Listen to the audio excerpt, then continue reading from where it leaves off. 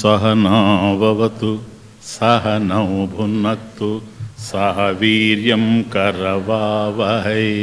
तेजस्विनावधीतमस्तु मा विद्विषावहै। ॐ शान्ति शान्ति शान्तिः।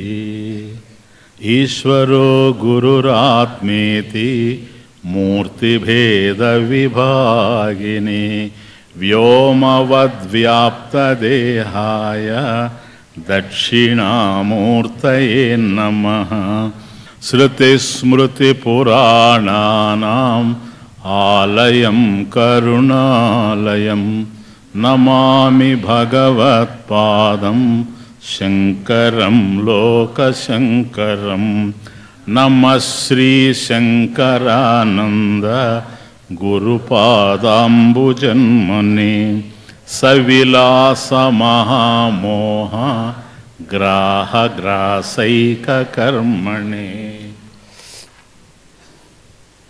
मायाविद्ये विहायैवम्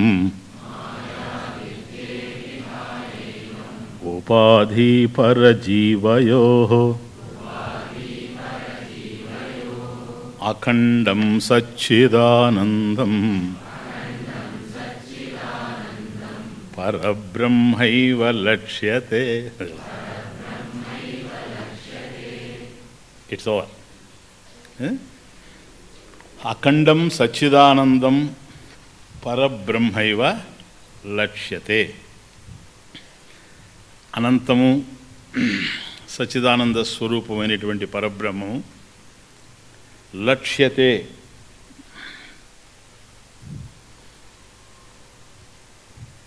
ఎలా లక్ష్యతే అంటే నలభై ఆరో శ్లోకంలో జస్ట్ శ్లోకంలో third and fourth line same. అఖండం సచ్చిదానందం మహావాక్యన లక్ష్యతే. ఇక్కడ అఖండం సచ్చిదానందం పరబ్రహ్మ ఇవ లక్ష్యతే. కాబట్టి పరబ్రహ్మ మహావాక్యేన లక్ష్యతే. అఖండం సచ్చిదానందం పరబ్రహ్మ మహావాక్యేన లక్ష్యతే. అదే. కిం తద్బ్రహ్మ ఇది పూర్వపక్షం. సరేనండి పరంబ్రహ్మ మహావాక్యేన లక్ష్యతే. తత్వమస్యాది మహావాక్యేన లక్ష్యతే ఇది. క్లియర్. కిం తద్బ్రహ్మ ఏ దేన్నైతే మీరు లక్ష్యంగా చేసుకుని బోధిస్తూ ఉండారో మహావాక్యం చేత తత్వమసి ఇత్యాది మహావాక్యాల చేత దేన్నైతే లక్ష్యం చేసుకొని ఉండారో సూచిస్తూ ఉండారో ఆ పరబ్రహ్మం ఏంటి అసలు? అంటే అది సాకారమా లేక నిరాకారమా? సగుణమా లేక నిర్గుణమా? సవికల్పమా లేక నిర్వికల్పమా? ఏంటో చెప్పండి అది. అది ముందు తేల్చండి. కాబట్టి తత్వమసి మహావాక్యం ద్వారా పరబ్రహ్మ స్వరూపాన్ని లక్ష్యం చేసుకొని మీరు బోధిస్తూ ఉండారు. అది బ్రహ్మ ప్రతిపాదం ప్రతిపాద్యం. కాబట్టి బ్రహ్మని మీరు ప్రతిపాదిస్తూ ఉన్నారు. మేం చెబుతున్నది ఏంటంటే పూర్వపక్షం బ్రహ్మ అప్రతిపాద్యం. లక్షణ వాక్యం చేత అంటే తత్వమసి మహావాక్యం చేత బ్రహ్మ అప్రతిపాద్యం. బ్రహ్మని ప్రతిపాదించడానికి అవకాశమే లేదు. మహావాక్యేన. తత్వమసి మత మహావాక్యై బ్రహ్మ లక్ష్యతే ఇది. బ్రహ్మము మహావాక్యం చేత చెప్పబడుతుంది అంటున్నారు కదా మీరు. తత్వమస్యాది మహావాక్యేన. మేం చెబుతున్నది ఏంటంటే తత్వమస్యాది మహావాక్యై బ్రహ్మ నా లక్ష్యతే ఇది పూర్వపక్ష ఆక్షేప. That is the objection from the opponent కాబట్టి తత్వమసి అనే మహావాక్యం ఏదైతే ఉందో అయమాత్మ బ్రహ్మ సర్వం కల్విదం బ్రహ్మ అహం బ్రహ్మాస్మి ఇత్యాది మహావాక్యై ఇటువంటి మహావాక్యాల ద్వారా ఏ బ్రహ్మమైతే సూచింపబడుతూ ఉందో అది మహావాక్యాల చేత లక్ష్యతే అని మీరు చెబుతున్నారు. అది కుదరదు అని మేము అంటున్నాం అది ఆక్షేపం. మహావాక్యం చేత పరబ్రహ్మ స్వరూపాన్ని ప్రతిపాదించడం అనేటువంటిది జరగదు. దట్స్ రాంగ్ అదే గనక వాస్తవం అయితే ఇంకా ఉపనిషత్తులన్నీ పోయినాయి అని అర్థం. ఉపనిషత్తుల్లో ఉన్నటువంటి ప్రధానమైనటువంటి కేంద్రమైనటువంటి విషయం మీద పూర్వపక్షి ఆక్షేపాన్ని తెలియజేస్తూ ఉన్నాడు అని విద్యారణ్యుల వారు అంటారు. ఇక్కడ యాక్చువల్గా పూర్వపక్షి లేడు. సూచిస్తాడు పూర్వపక్షిని. బహుశా ఆయన్ని అడుగుంటాడేమో. విద్యారణ్య స్వామిని ఎంతోమంది క్వశ్చన్ చేసి ఉంటారు కనుక అది దృష్టిలో పెట్టుకొని పూర్వపక్షం తీసుకొచ్చి ఇక్కడ మనకు ప్రజెంట్ చేస్తున్నాడు. అవును ఎందుకని చెప్తున్నావయ్యా? నీకు హేతువేంటి మహావాక్యం చేత పరబ్రహ్మ స్వరూపం తెలుస్తుంది అని శాస్త్రం చెప్తాం మహాత్ములు చెబుతూ ఉన్నారు. అది నలక్ష్యతే ఇది పూర్వపక్ష అపేక్ష ఆక్షేప. కాబట్టి ఆ విధంగా చేయడానికి అవకాశం లేదు. మహావాక్యం చేత బ్రహ్మను ప్రతిపాదించడం కుదరదు అంటున్నావు. ఏంటి? హేతువేంటి? किं कारणं? नेक्स्ट् सविकल्पस्य लक्ष्यत्वे लक्ष्यस्यस्त्यादवस्तुता। निर्विकल्पस्य लक्ष्यत्वं न दृष्टं न च सम्भवी।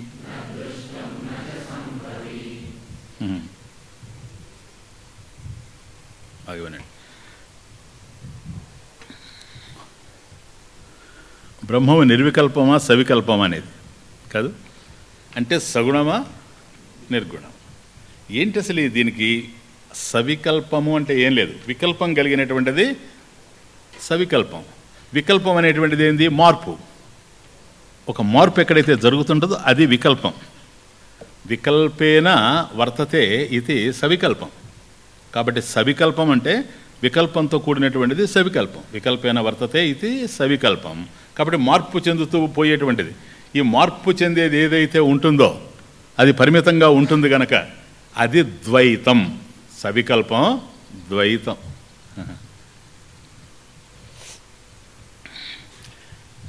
ఇక నిర్వికల్పము అంటే అది ముందు అది తెలుసుకోండి. సవికల్పము అంటే ఎక్కడైతే మార్పు ఉండేందుకు అవకాశం లేదో అదే సవికల్పం మార్పు ఉంటుందో వికల్పైన వర్తతే సహ. సవికల్పం. కాబట్టి ఎక్కడైతే మార్పు ఉంటుందో అది సవికల్పం. కాబట్టి ఇది సవికల్పం. సవికల్పం అంటే ద్వైతం నిర్వికల్పం అంటే అద్వైతం. ఇప్పుడు అర్థమవుతుందా మీకు?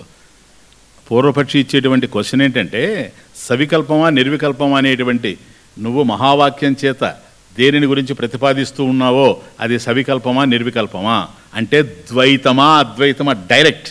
బ్రహ్మం అనేటువంటిది ద్వైతమా అద్వైతం అనేది ఇంప్లైడ్ మీనింగ్ దాంట్లో. అందువల్ల సవికల్పమా నిర్వికల్పమా అని అడుగుతూ ఉన్నాడు. సవికల్పస్య పరబ్రహ్మ సవికల్పస్య లక్ష్యత్వే సవికల్పస్య లక్ష్యత్వే సతి అది సవికల్పస్య లక్ష్యత్వే సతి లక్ష్యస్య అవస్తుత స్యాత్ లక్ష్యస్య స్యాదవస్తుత లక్ష్యస్య అవస్తుత స్యాత్ లక్ష్యస్య స్యాత్ అవస్తుత. లక్ష్యస్య అవస్తుత స్యాత్ స్యాత్ భవేత్.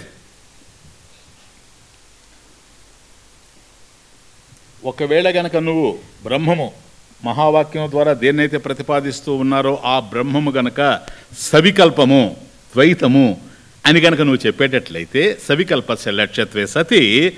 లక్ష్యస్య ఏ పరబ్రహ్మముని గురించి అయితే నువ్వు చెబుతున్నావో అది అవస్తుత స్యాత్.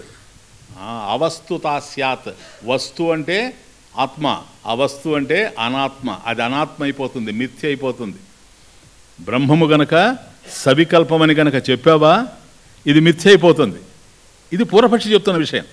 నెక్స్ట్ సెకండ్ థర్డ్ లైన్ నిర్వికల్పస్య లక్ష్యత్వం అంటే నిర్వికల్పస్య లక్ష్యత్వే సతి. నదృష్టం నచ సంభవి. పోనీ బ్రహ్మము నిర్వికల్పము అని గనక అన్నావా? అంటే అద్వైతం.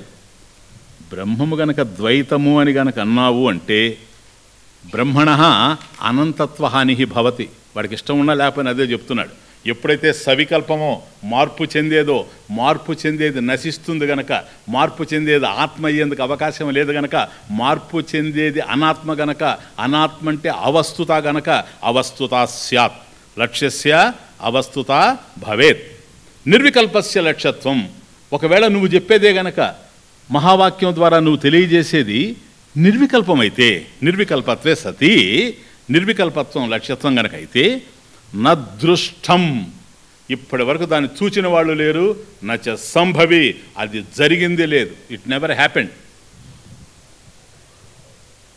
అది పూర్వపక్షం అబ్జెక్షన్ ఎంత స్ట్రాంగ్ అబ్జెక్షన్ చూడండి. అంటే సవికల్ప పరబ్రహ్మ. ఇప్పుడు నేను పరబ్రహ్మం సవికల్పమా నిర్వికల్పం అని కదా? దాన్ని అడ్జెక్టివ్గా చెప్తాను నేను పోని. సవికల్ప పరబ్రహ్మ లక్ష్యత్వే సతి బ్రహ్మణ అనంతత్వహాని భవతి. క్లియరా? బ్రహ్మమే గనక ద్వైతమైంది అనుకో ద్వైతం అంటే మార్పు చెందేది. సవికల్పం అంటే నామరూపాలమ్మ ఇంకేం లేదు. సవికల్పం అంటే నామరూపాలు మార్పు చేంజ్ ఎక్కడైతే ఉంటుందో అది. ఇవి నామరూపాలు. నామరూపాలు ఎప్పుడు మారుతూ ఉంటాయి. ఒక రూపానికి నామం ఉంటుంది రూపం మార్పు చెందుతూ ఉంటుంది. యద్రూపం తన్నస్యం. కనుక ఈ సవికల్పమే గనక బ్రహ్మం అయితే రూపాలు కలిగినవన్నీ నశించిపోతూ ఉంటాయి గనక బ్రహ్మము కూడా నశించిపోదు. ఇప్పుడు దాన్నే నువ్వు చెప్పేది తత్వమసి వాక్యార్థం ద్వారా. కాబట్టి ఎప్పుడైతే నామరూపాలతో బ్రహ్మం ఉందో అదిగో దానికి ఒక రూపం ఉంది దాని పేరు ఫ్యాన్. ఆ ఫ్యా రూపం ఏదైతే ఉందో అది కనపడుతూ ఉంది. దానికి నామము ఫ్యాను. దీనికి ఒక రూపం కనపడుతూ ఉంది. ఆ రూపం ఈ రూపం వేరుగా ఉన్నాయి. ఈ రూపం ఏదైతే ఉందో ఇది మైక్. దీని పేరు మైకు. రూపము నామము. రూపము నామము. అది నశించిపోద్ది ఇది నశించిపోద్ది. ఇది అది కాదు అది ఇది కాదు. పరిమితమైనటువంటిది. పరిమితమైనటువంటిది పరిపూర్ణం కాలేదు. ఇది అంతమైపోయేటువంటిది అనంతం కాలేదు. కనుక సవికల్ప లక్ష్యత్వే సతి సవికల్పస్య బ్రహ్మణ సవికల్పస్య లక్ష్యత్వే సతి. బ్రహ్మణ అనంతత్వహాని భవతి. అది నశించిపోయేది అవుతుంది మిథ్య అవుతుంది. అంతేగాని సత్యమయ్యేందుకు అవకాశం లేనే లేదు. కాబట్టి ఇదే నువ్వు చెప్పేది. ఈ మార్పుని గురించి నువ్వు మాట్లాడుతున్నావా? మారేటువంటిది ఏది నిత్యం కాదు కదా. కాబట్టి బ్రహ్మము సవికల్పం గనక ఏది తత్వమసి వాక్యార్థము ద్వారా తత్వమసి వా మహావాక్యేన అఖండం సచ్చిదానందం లక్ష్యతే అని అన్నావే. అఖండము సచ్చిదానందం అంటున్నావు గనక అది మహావాక్యేన లక్ష్యతే. అది సవికల్పం గనక అయ్యేటట్లయితే కుదరదు. సరే ఓకే మేము కూడా చెప్పడం లేదు కదా సవికల్పం అని. బ్రహ్మం మార్పు చెందేదని ఎవరు చెప్తున్నారు? నిర్వికల్పమనే అంటున్నాం. సవికల్పాన్ని అలా కొట్టేసి ఇప్పుడు నిర్వికల్పం చెప్తున్నాడు. నిర్వికల్పస్య లక్ష్యత్వం నా దృష్టం నచ సంభవి. ఇది అంటే నిర్వికల్పస్య పరబ్రహ్మ లక్ష్యత్వే సతి. మహావాక్యన నిర్వికల్ప పరబ్రహ్మ లక్ష్యత్వే సతి తత్ లక్ష్యత్వం నదృష్టం నచ సంభవి. నదృష్టం దాన్ని చూచిన వాళ్ళు లేనే లేరు. ఎందుకు లేరు? దీని ద్వారా దాన్ని సూచిస్తున్నాడు అని అంటే ఇదొకటి ఉండాలి అదొకటి ఉండాలి. అదొకటి ఉందని తెలుసుకునేవాడు ఒకడు ఉండాలి. తెలుసుకునేవాడు ఒకడు ఉంటే తెలియబడేది ఒకటి ఉండాలి. తెలియబడేది తెలుసుకునేది రెండు ఉన్నప్పుడు సవికల్పమే. ఏది నిర్వికల్పం? ఎక్కడుంది గనక?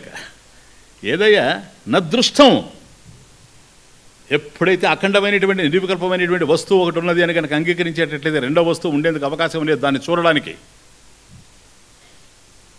ఇది ఇలా జరిగింది అని చెప్పడానికి కూడా అవకాశం లేదు. ఎందుకని చెప్పేవాడు లేడు. నచ్చ సంభవి. కాబట్టి సవికల్పమా చెప్పు. అనంతత్వానికి హాని. నిర్వికల్పమా చెప్పు. పోనీ ఏదన్నా చెప్పు. పరబ్రహ్మని నేను ప్రతిపాదిస్తున్నానండి. మహావాక్యాన లక్ష్యతే మహావాక్యం ద్వారా నేను సూచిస్తున్నానంటే నువ్వు మాటల ద్వారా పరబ్రహ్మమును సూచించడానికి ఆ మాటల ద్వారా సూచింపబడేటువంటి ఆ పరబ్రహ్మం. అది వాడి అబ్జెక్షన్ అంతా ఏంటంటే మాటల ద్వారా చెబుతావా? అంటే వాక్ ద్వారా నువ్వు పరబ్రహ్మముని ప్రతిపాదిస్తావా? ఏ పదం తీసుకున్నా ఆ పదంలో ఉండే శక్తి దానికి ఉంది రెండవ పదంలో ఉండే శక్తి దానికి లేదు. దాన్ని ఏమన్నాము? శక్తి వృత్తి. లక్షణావృత్తి చెప్పావనుకో దేని లక్షణం అదే? ఎటు చెప్పినప్పటికీ కూడాను అంతం కలిగినటువంటి పదాలతో అంతమైనటువంటి శక్తి కలిగిన పదాలతో అనంతమైనటువంటి పరబ్రహ్మం గురించి నువ్వు మాట్లాడడానికి అవకాశమే లేదు. కాబట్టి నదృష్టం నదృష్టం ఎందుకని? నా దృశ్యతే.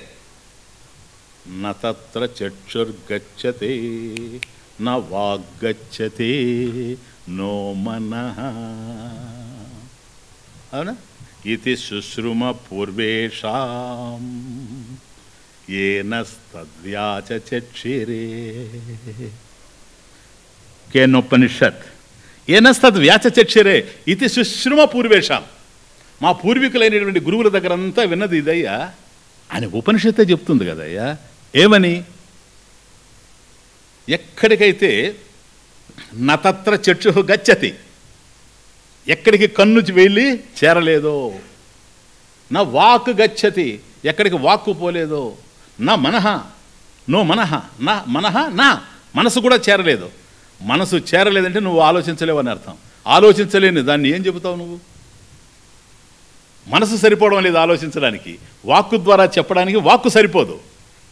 చూచిందే అంటామా అనంతమైన దాన్ని అంతం కలిగినటువంటి కళ్ళు చూడలేవు. కాబట్టి నా దృష్టం నచ సంభవి. వీడి మాట అన్నాడు అంటే ఉపనిషత్తు కూడా ఉంది వీడి మైండ్లో. పూర్వపక్షి మైండ్లో ఉపనిషత్తు ఉంది కేనోపనిషత్తు ఉంది. యన్మనసా నమనుతే యనాహుర్ మనోమతం. నత్ర తత్ర నో నా వాగ్ గచ్చతి నో మనహ కేనోపనిషత్తు ఉంది వీడి మైండ్లో. ఊరికే లేదు అబ్జెక్షన్ ఊరికే అటు ఇటు ఏదో దంపుడు బియ్యం వా- మాట్లాంటి మాదు. ప్రామాణికంగా ఉంది. అంతేకాదు తైత్తరీయం కూడా ఉంది. యథోవాచో నివర్తంతే అప్రాప్య మనసా సహా. ఎక్కడికైతే వాక్కు మనసు వెళ్ళి చేరలేక తిరిగి వస్తూ ఉన్నాయో అది పరబ్రహ్మ స్వరూపమని తైత్తరీయంలో మీకు నేను చెప్పాను. మనం అంతా అధ్యయనం చేశాం. కాబట్టి ఏంటయ్యా ఇప్పుడు మీరు చెప్పేది? బాబు చూడడానికి మరొకటి లేదు నా దృష్టం నచ్చ సంభవే జరిగేందుకు అవకాశం లేనే లేదు. కాబట్టి నువ్వు చెప్పడానికి అవకాశం లేదు. చెప్పడానికి అవకాశం లేనప్పుడు మహావాక్యన లక్ష్యతే. ఎందుకని? ఏదైనా గనక నువ్వు చెప్తే దానికి వాచో విధేయత్వం ఉండాలి. ఇదే టెక్నికల్ వర్డ్. వాచో విధేయత్వం. వాచ అంటే వాక్కు ద్వారా చెప్పడానికి అది అందుబాటులో ఉండాలి. వాచో విధేయత్వం. అందుబాటులో ఉండాలి. కాబట్టి దేనిని గురించైనా సరే నువ్వు వర్ణించాలి అనుకున్నప్పుడు దానికి పేరున్నా ఉండాలి. నామ రూప జాతి క్రియ గుణ విశేష సంబంధ. ఇవన్నీ లక్షణాలు దేనికైతే ఉంటాయో ఈ ధర్మాలు ఎక్కడైతే ఉంటాయో అక్కడే నీ వాచో విధేయత్వం నీ వాక్కు పనిచేస్తుంది కానీ ఇంకొక చోట లేదు. ఇదొక జాతి అదొక జాతి. ఎస్ ఇది చామంతి. అది పూబంతి. ఎస్ ఇప్పుడు నువ్వు దాన్ని వర్ణించగలవు. జాతి.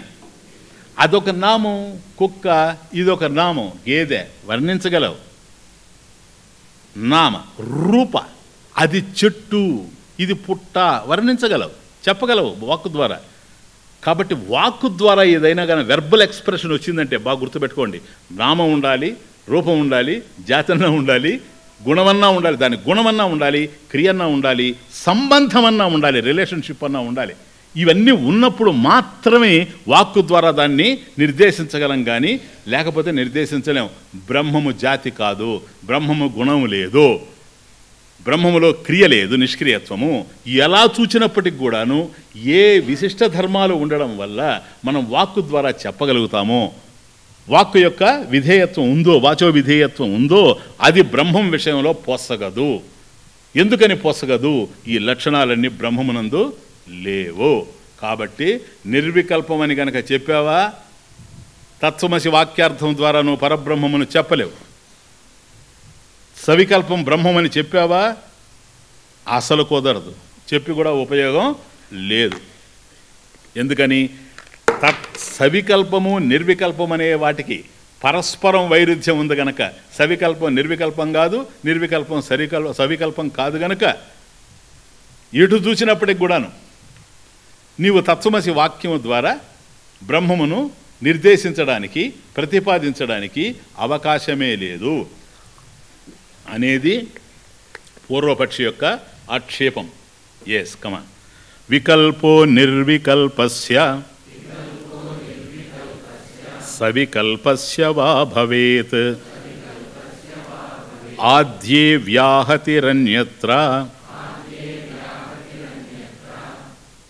అనవస్థాత్ అనవస్థాత్మాశ్రయాదయ ఆద్యే వ్యాహతిరన్యత్ర అనవస్థాత్మాశ్రయాదయ నేను చెప్పలా ఎదురు దాడి ఈ చిన్నోడు కాదు కదా. ఇప్పుడు అతను ప్రశ్న వేశాడు. అయ్యా నువ్వు సవికల్పమా నిర్వికల్పమా? ఏంటి? అన్నాడు. ఈయన ఏం చెప్తున్నాడంటే వాడికి ఇంకా వాడు అనుకుంటాడు ఇంటికి పోయి పొరపాటున ఎందుకు అడిగాను అని. ఎవరు? ఆ పూర్వపక్షి. ఈయనకు అర్థం కానట్లే అయ్యి అడుగుతున్నాడు వాడిని. ఈయనకు అర్థం కానట్టుగా ఏమన్నా ఉంది అక్కడ కష్టమైన పదవం అయ్యా సవికల్పం అని చెప్పావా? కుదరదండి. ఎందుకని పరమార్థం దెబ్బతింటది అనంతత్వం పోద్ది లేదా నిర్వికల్పం అని చెప్పావా? నా దృష్టం నచ సంభవి. మీకు కూడా అర్థమైపోతా ఉంది. మీకు నాకు అర్థమైంది విద్యారణ్యకు అర్థం కాదా? అది తమాషా. ఇప్పుడు అంటున్నాడు నాయన బాగుంది నువ్వు చెప్పింది. వికల్ప చూసుకోండి. వికల్ప అంటే నామరూపాది ధర్మ విషయ వికల్ప ఇప్పుడు చెప్పాను కదా వికల్పం అంటే నామం రూపం ఉండేటువంటిదని. కదా? సవికల్పం నాయన? వికల్పం అంటే ఏదో కాదు కదా. వికల్పైన వర్తతే సవికల్పం. అదే సవికల్పం. కాబట్టి వికల్ప అంటున్నావు కదా నువ్వు? ఒక్కటి చెప్పుమంటున్నాడు. వికల్ప నిర్వికల్పస్య వా సవికల్పస్య వా. క్రిటికల్. అయ్యా నిర్వికల్పమని అన్నావే. ఇది వికల్పమని అన్నావు కదా నువ్వు. నామరూపాలు ఉండేటువంటిదండి వికల్పం మార్పు చెందేదని. ఆ మార్పు చెందేది అని అంటున్నావు కదా వికల్పం. ఇది నువ్వు దేన్ని ఉద్దేశించి మాట్లాడుతున్నావు? నాకు అర్థం కాలేదే. ఏంటండి ఏదైనా అంటే సవికల్పం యొక్క వికల్పమా? నిర్వికల్పం యొక్క వికల్పం. ఇది క్రిటికల్ ఆర్గ్యుమెంట్ వికల్ప అని అంటున్నావు నువ్వు. అది సవికల్పమో నిర్వికల్పమో? చూడు తమర్చుండి రెండిట్లో ఉంది అది. వికల్ప పదం. సవికల్ప నిర్వికల్ప కదా? మొత్తానికి వికల్ప అంటున్నావు నువ్వు. వికల్ప అంటే మార్పు చెందేది.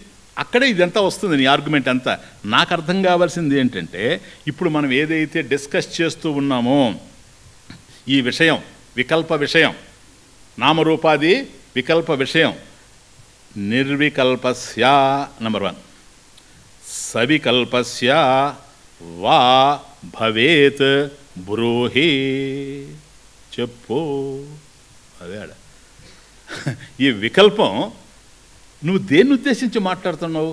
సవికల్పముకు అంటున్నావా వికల్పాన్ని లేక నిర్వికల్పకు అంటున్నావా? అది నాకు అర్థమైతే బ్రహ్మము నిర్వికల్పమో సవికల్పమో మహావాక్యం చేత మేము ఏది బోధిస్తున్నామో నీకు చెప్పే అవకాశం ఉంటుంది కనుక వికల్ప నిర్వికల్పస్య వా సవికల్పస్య వా బ్రూహి. చెప్పునైనా చెప్తాడేమో ఈయన అంటున్నాడు నీ వేస్ట్ టాక్కి నేను శ్లోకాలు పోగొట్టుకోలేను. ఒకవేళ చెప్పావనుకో ఏం చెప్తావు? ఇదో అదో చెప్తావు. అంతేనా? నిర్వికల్పం అని చెప్తావు? ఈ వికల్పం నిర్వికల్పానికి సంబంధించింది అని చెప్తావు. లేదా? సవికల్పానికి సంబంధించింది అని చెప్తావు. అంతేగాని నాలాగా తిరిగి క్వశ్చన్ వేయడానికి నువ్వేం విద్యారని కాదు. నువ్వు పూర్వ పక్షి. అర్థమవుతుంది? దేర్ ఫోర్ ఈ రెండిట్లో వాడు చెప్తావు కదా? నువ్వు రెండిట్లో ఏ చెప్పినా నేను ఖండించేస్తాను పో. ఎట్లా ఖండిస్తావయ్యా? ఆద్యే మొదటిది కనుక చెప్పావా? ఏమిటి మొదటిది? నిర్వికల్పం. నిర్వికల్పానికి సంబంధించిన వికల్పం అని కనుక చెప్పావా? వ్యాహతి ఆధ్యే మొదటిది గనక నువ్వు చెప్తే నిర్వికల్పం అని కనుక నువ్వు చెప్తే వ్యాహతి వ్యాహతి వ్యాఘాత ఇది అంతరాయం ఉంది దానికి అబ్జెక్షన్ ఉంది. వ్యాహతి వ్యాఘాత భవేత్. దాని మీద మళ్ళీ అబ్జెక్షన్ ఉంది మా దగ్గర. ఏది నువ్వు గనక నిర్వికల్పానికి సంబంధించింది వికల్పం అని కనుక చెప్పావంటే. అన్యత్ర చూడండి అక్కడే ఉన్నాయి పదాలన్నీ. ఆద్యే వ్యాహతి ఒకవేళ నువ్వు గనక మొదటిది చెప్పావా నిర్వికల్పమని వ్యాహతి. వ్యాఘాత భవేత్. దానికి అబ్జెక్షన్ ఉంది మా దగ్గర. అన్యత్ర. లేదు రెండవ చెప్పావనుకో అన్యత్ర. ఏంటారు అన్యత్ర సవికల్పం అని చెప్పావు కదా. రెండు దోషాలు చూపిస్తున్నా. ఇంకా మిగతా దోషాలు ఊహించుకో. కావాల్సిన దోషాలు చూపిస్తా. ఏదది? అనవస్థ వన్ దోష వన్ డిఫెక్ట్. అనవస్థ దోషం. ఆత్మాశ్రయ ఆత్మాశ్రయ దోషం. ఆదయ ఎట్సట్రా దోషం. మొదటిది కనుక చెప్పావా? మా దగ్గర అబ్జెక్షన్ ఉంది సార్. వ్యాహతి అధ్యే. అన్యత్ర రెండవది కనుక చెప్పావా? అంటే నిర్వికల్పమని కనుక నువ్వు చెప్పావు అని అంటే మాత్రం వెంటనే నీ మీద పడిపోతాం ఇప్పుడు. వికల్పం నిర్వికల్పానికి సంబంధించింది కనుక అన్నావంటే. లేదు రెండవది కనుక చెప్పావా? సవికల్పమని. అదంతా దోషమయం. దోషాల పుట్ట. కాబట్టి నువ్వు చెప్పే వికల్ప దేనికి సంబంధించింది సార్? నిర్వికల్పానికి సంబంధించిందా? లేక సవికల్పానికి సంబంధించిందా? దేన్ని ఉద్దేశించి నువ్వు వికల్పం అనేటువంటి శబ్దం వాడావు అనేది. ఆద్యే ఇప్పుడు చూడండి మీకు మొదట అర్థమైపోయింది కదా వికల్పం అంటే అర్థమైపోయింది నామరూపాలతో కూడినటువంటిది మార్పు చెందేటువంటిది. నిర్వికల్పం అంటే కూడా తెలిసింది. ఆద్యే ఒకవేళ కనుక నిర్వికల్పం అని కనుక అన్నావు అంటే నిర్వికల్పం అంటే ఏంటి? వికల్ప న విద్యతే యస్య. దేంట్లో అయితే వికల్పం లేదో అది నిర్వికల్పం. వికల్పం లేనిది నిర్వికల్పం అయినప్పుడు వికల్పం నిర్వికల్పానికి సంబంధించిందని ఎట్లా అంటావు సార్? ఫస్ట్ది అది వ్యాహతి అబ్జెక్షన్. బ్యూటిఫుల్ అబ్జెక్షన్ కదా? నిర్వికల్పం అంటేనే వికల్పం లేనిది. మేము అడుగుతున్నది నువ్వు చెప్పే వికల్పం నిర్వికల్పశవా సవికల్పశవా బృహి అయ్యా నిర్వికల్పశానికి సంబంధించిందండి వికల్పము. నిర్వికల్పం అంటేనే వికల్పం లేనిదని అర్థం సార్. అది తెలియకుండా మీరు అనుంటారు మేము అనుకోవడం లేదు. వికల్ప న విద్యతే ఎస్య కాబట్టి ఇప్పుడు నువ్వు చెప్పేది ఏంటి? నిర్వికల్పానికి వికల్పం ఉందని కనుక నువ్వు అంటే లేని వికల్పాన్ని తమాషా చూడండి లేని వికల్పాన్ని ఊహించి నిర్వికల్పం అంటే వికల్పం లేదు. లేని వికల్పాన్ని ఊహించి దాన్ని ఆక్షేపంగా నువ్వు చెప్పడం. లేని వికల్పాన్ని ఊహించి దాన్ని ఆక్షేపణగా మా దగ్గరికి తీసుకొని రావడం ఇది ఎలా ఉందో తెలుసా? దీనికి శాస్త్రంలో ఒక ఎగ్జాంపుల్ ఉంది. ఒకడట లేచి నేను చెప్పేది వినండి నాకు నాలుక లేదు. శాస్త్రంలో ఉంది ఎగ్జాంపుల్ ఉపనిషత్తులో. నేను చెప్పేది బాగా వినండి నాకు నాలుక లేదు. ఇప్పుడు మీరేం చెప్పాలి వాటి సమాధానం? మాకు చెవి లేదు. అంతే కదా? వాడు మాట్లాడుతూ నాకు నాలుక లేదు ఐ హ్యావ్ నో టంగ్ అని వాడు అన్నాడు అంటే వాట్ డస్ ఇట్ మీన్ అలా మాట్లాడేది నాలుకే కదా. నాలుకను పెట్టుకొని నాకు నాలుక లేదు అని వాడు చెప్పాడంటే నాలుక లేకపోతే వాడు మాట్లాడలేడు. వాడు మాట్లాడుతూ నాకు నాలుక లేదు అని అనడం పరస్పర విరుద్ధమైనటువంటి విషయం. ఒకవైపు నిర్వికల్పం వికల్పం లేదని చెప్తూ వికల్పం నిర్వికల్పానికి సంబంధించింది అని అనడం వ్యాహతి ఇట్స్ అన్ అబ్జెక్షన్ కొట్టేస్తున్నాడు వాడిని. ఇటువంటి తమాష చూడండి విచిత్రం. ఆద్యే వ్యాహతి అన్యత్ర పోనీలేండి సార్. ఇంకోటి అని చెప్తారా? సవికల్పం అని చెప్తారా? ఆ? అది కూడా కుదరదు. అందువల్ల నీ ప్రశ్న నాకు అర్థం కావడం లేదు కనుక ఐఎమ్ అనేబుల్ టు ఆన్సర్ నీ ప్రశ్నే your question is not clear to me వికల్పం అంటున్నావు. వికల్పం సవికల్పానికి సంబంధించిందా? నిర్వికల్పానికి సంబంధించిందే. నిర్వికల్పం అనే క్వశ్చనే లేదు. ఇదిగో చెప్తున్నా వ్యాహతి అస్తి అంతరాయం ఉంది ఇక్కడ. ఏమిటో తెలుసా? నిర్వికల్పం అని ఎప్పుడైతే అన్నావో వికల్పం లేనిది నిర్వికల్పం. ఇంకా దానికి వికల్పం అని నువ్వు అన్నాడు ఏంటి లేని దాన్ని సృష్టించి దాన్ని ఆక్షేపణగా మా దగ్గర తీసుకొస్తావా? ఐ హ్యావ్ నో టంగ్ అని. అయిపోయింది ఇక్కడ. అన్యత్ర పోనీ సవికల్పానికి సంబంధించింది వికల్పం అని అంటావా? ఇను. సవికల్పస్య లక్ష్యతే సతీ. కదా? సవికల్పం అంటే ఏంటి? ఇప్పుడు చెప్పాను కదా. వికల్పంతో కూడింది. వికల్పంతో కూడింది సవికల్పం. ఇది పూర్వపక్షి చెప్పే భావం. సవికల్పం అంటే వికల్పంతో కూడిందని. ఇప్పుడు ఈయననేది ఏంటంటే వికల్పం అంటే మార్పు కదా. వికల్పం అంటే మార్పు కదా పరిణామం కదా. వికల్పం అంటే ఇది కరెక్టా? ఈ వికల్పం అనేటువంటిది సవికల్పానికి సంబంధించిందని నువ్వు గనక చెబితే ఇదే గనక నీది రెండవ అర్థం అయితే అన్యత్ర ఇది కరెక్టా? కరెక్టే స్వామీజీ. మరి ఈ వికల్పం రూపం ఉంది కదా?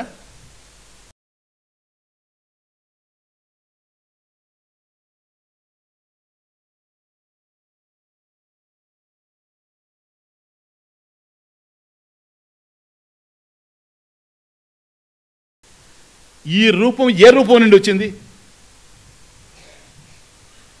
అసలు షడ్దర్శనాల్లో న్యాయశాస్త్రం మీద ఆర్గ్యుమెంట్ నడిచేటప్పుడు ఇది ఒక బ్రహ్మాండమైనటువంటి లాజిక్. అదంతా మీకు అవసరం లేదు కానీ ఇక్కడికి ఎంత అవసరం అంత చెప్తున్నా మీకు. అండర్స్టాండ్ వికల్పం అంటే మార్పు కదా. ఒక వస్తువు మార్పు చెందింది అనుకున్నా ఆయన. ఇది దేని నుండి మార్పు చెందిందని? ఇప్పుడు పెరుగు అనుకున్నావు నువ్వు. పెరుగు వస్తువు. వికల్పం చెందింది. పాలు పెరుగయింది ఇప్పుడు నువ్వు అడుగుతావు పెరుగు దేని నుండి వికల్పం చెందింది? పాలు నుండి. పాలు ఇది తమాషా. అంతే అక్కడ ఉండండి. కాబట్టి కుండ వచ్చింది అంటే కుండకు ఒక రూపం ఉంది కనుక దేని వికల్పం ఇది అని అంటే మట్టి యొక్క వికల్పం. మట్టి ఎవరు ఇప్పుడు? నిర్వికల్పం ఆ మట్టే? కనపడుతుంది కదా? అది మళ్ళీ అణువుల సముదాయం. మరి అణువులు? ఇది తమాషా.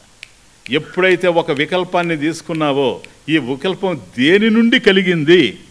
తమాషా చూడండి. వికల్పం అన్నప్పుడే మరొక దాని నుంచి కలుగుతుంది అది తమాషా.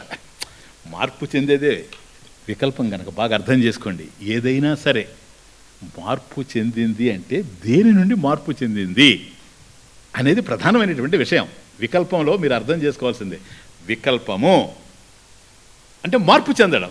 దే మార్పు చెందింది అంటే ఏదో ఒక క్రమంలో మార్పు చెంది ఉండాలి. అంతకు ముందు ఉన్నటువంటి స్థితి మారడమే మార్పు చెందడం అంటే వికల్పం అంటే. కాబట్టి ఇప్పుడు ఏదైతే వికల్పం అని నువ్వు అంటున్నావో అంతకుముందు అది ఏంటి? దాని రూపం ఏంటి? ఇప్పుడు కొండ దేని వికల్పం? మట్టి వికల్పం అండి అని అంటున్నావు కదా?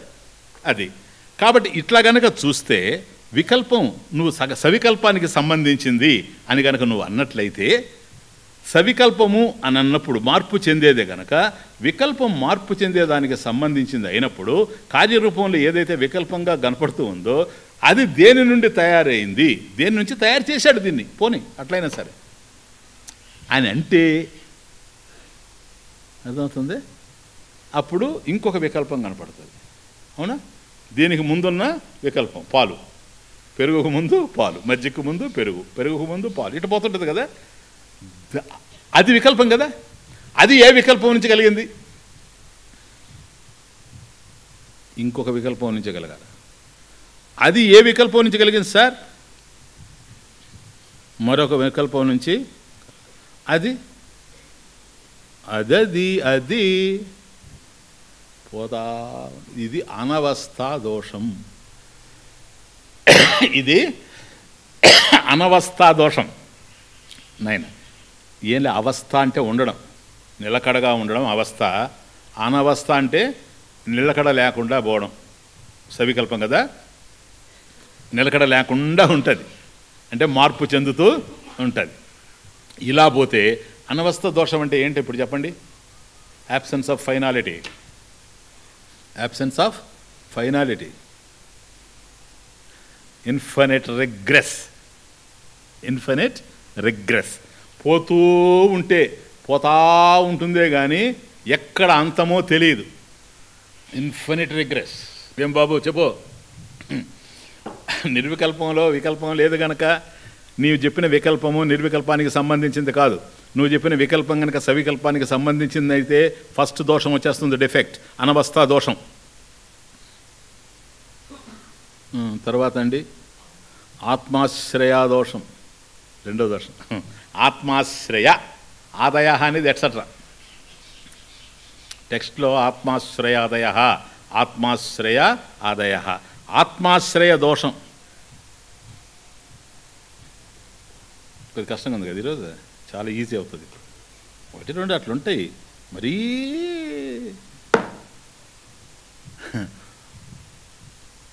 ఏమో విషయం కష్టంగా ఉండొచ్చు కానీ నేను తేలిగ్గానే చెప్తున్నాను అనుకుంటున్నా. మీకేం లేదు స్వామీజీ. మీకు మాత్రం అంతే. అర్థం కానంత వరకు ఆయనకేమి ఈయనకేమి అర్థమైతే అందరికీ ఏం లేదు. ఆత్మాశ్రయం. ఆత్మాశ్రయం అంటే ఏంటి స్వామీజీ? ఆత్మ అంటే తాను కదా? ఆత్మాశ్రయం అంటే తనను తానే ఆశ్రయించుకోవడం. సిం సంస్కృతంలో బ్యూటీ అంతా ఏంటంటే సౌందర్యం. పదం యొక్క అర్థాన్ని పదమే చెప్తుంది జాగ్రత్తగా వినాలి. ఆత్మాశ్రయ అన్యాశ్రయ కాదు. ఆత్మాశ్రయ ఈ ఆత్మాశ్రయ దోషం ఒకటి వస్తుంది. ఏంటని? చూడండి ఇది విశేషణ విశేష సంబంధం లేండి. ఉదాహరణకి నీలోత్పల అన్నాడు అనుకోండి నీల ఉత్పల నల్ల కలువ కదా ఆ నీలం ఏంటి నాయన అడ్జెక్టివ్ కదా తెలుగులో చెప్పు విశేష తెలుగులో విశేషణము సంస్కృతంలో కూడాను కాబట్టి నీలము అనేటువంటిది విశేషణం. దేనికి విశేషణం? పుష్పానికి. ఏ పుష్పము? కలువ పువ్వు. కాబట్టి ఉత్పల. కాబట్టి ఉత్పల అనేది విశేష్యము. నీల అనేది విశేషణము. విశేషము విశేష్యము ఏదైతే ఉందో దాని విశేష జ్ఞానాన్ని విశేషణము చెబుతుంది. ఇది గ్రామర్ అంతేనా? విశేషణం అంటే అదే అడ్జెక్టివ్ విశేష్యము యొక్క విశేష జ్ఞానాన్ని విశేషణము అందిస్తుంది. కాబట్టి ఉత్పలహ కలో పువ్వు నీలోత్పల ఒకటి శ్వేతం కూడా ఉండొచ్చు. నల్ల కలువ ఉంది తెల్ల కలువ ఉంది. కానీ ఇది నల్ల కలువ. కాబట్టి కలువ పువ్వులో నలుపు అనేటువంటిది విశేషణం. నీలోత్పలం. నల్ల కలువ. కదా? ఇది విశేషణం అది విశేష్యం. కాబట్టి ఎప్పుడైతే విశేషణం అనేది ఉంటుందో అప్పుడే విశేష్యము యొక్క విశేష జ్ఞానము కలుగుతుంది. అవునా? మరి నీలోత్పలం అన్నప్పుడు విశేషణము నీలం. కదా? పుష్పము నీలం విశేషణం. నీలోత్పలము అన్నప్పుడు ఆ నీల లక్షణం పుష్పాన్ని ఆశ్రయించుకొనే ఉంది కదా? అవునా కాదా? పుష్పాన్ని ఆశ్రయించుకొని ఉంది అది. బాగా అర్థం చేసుకోండి.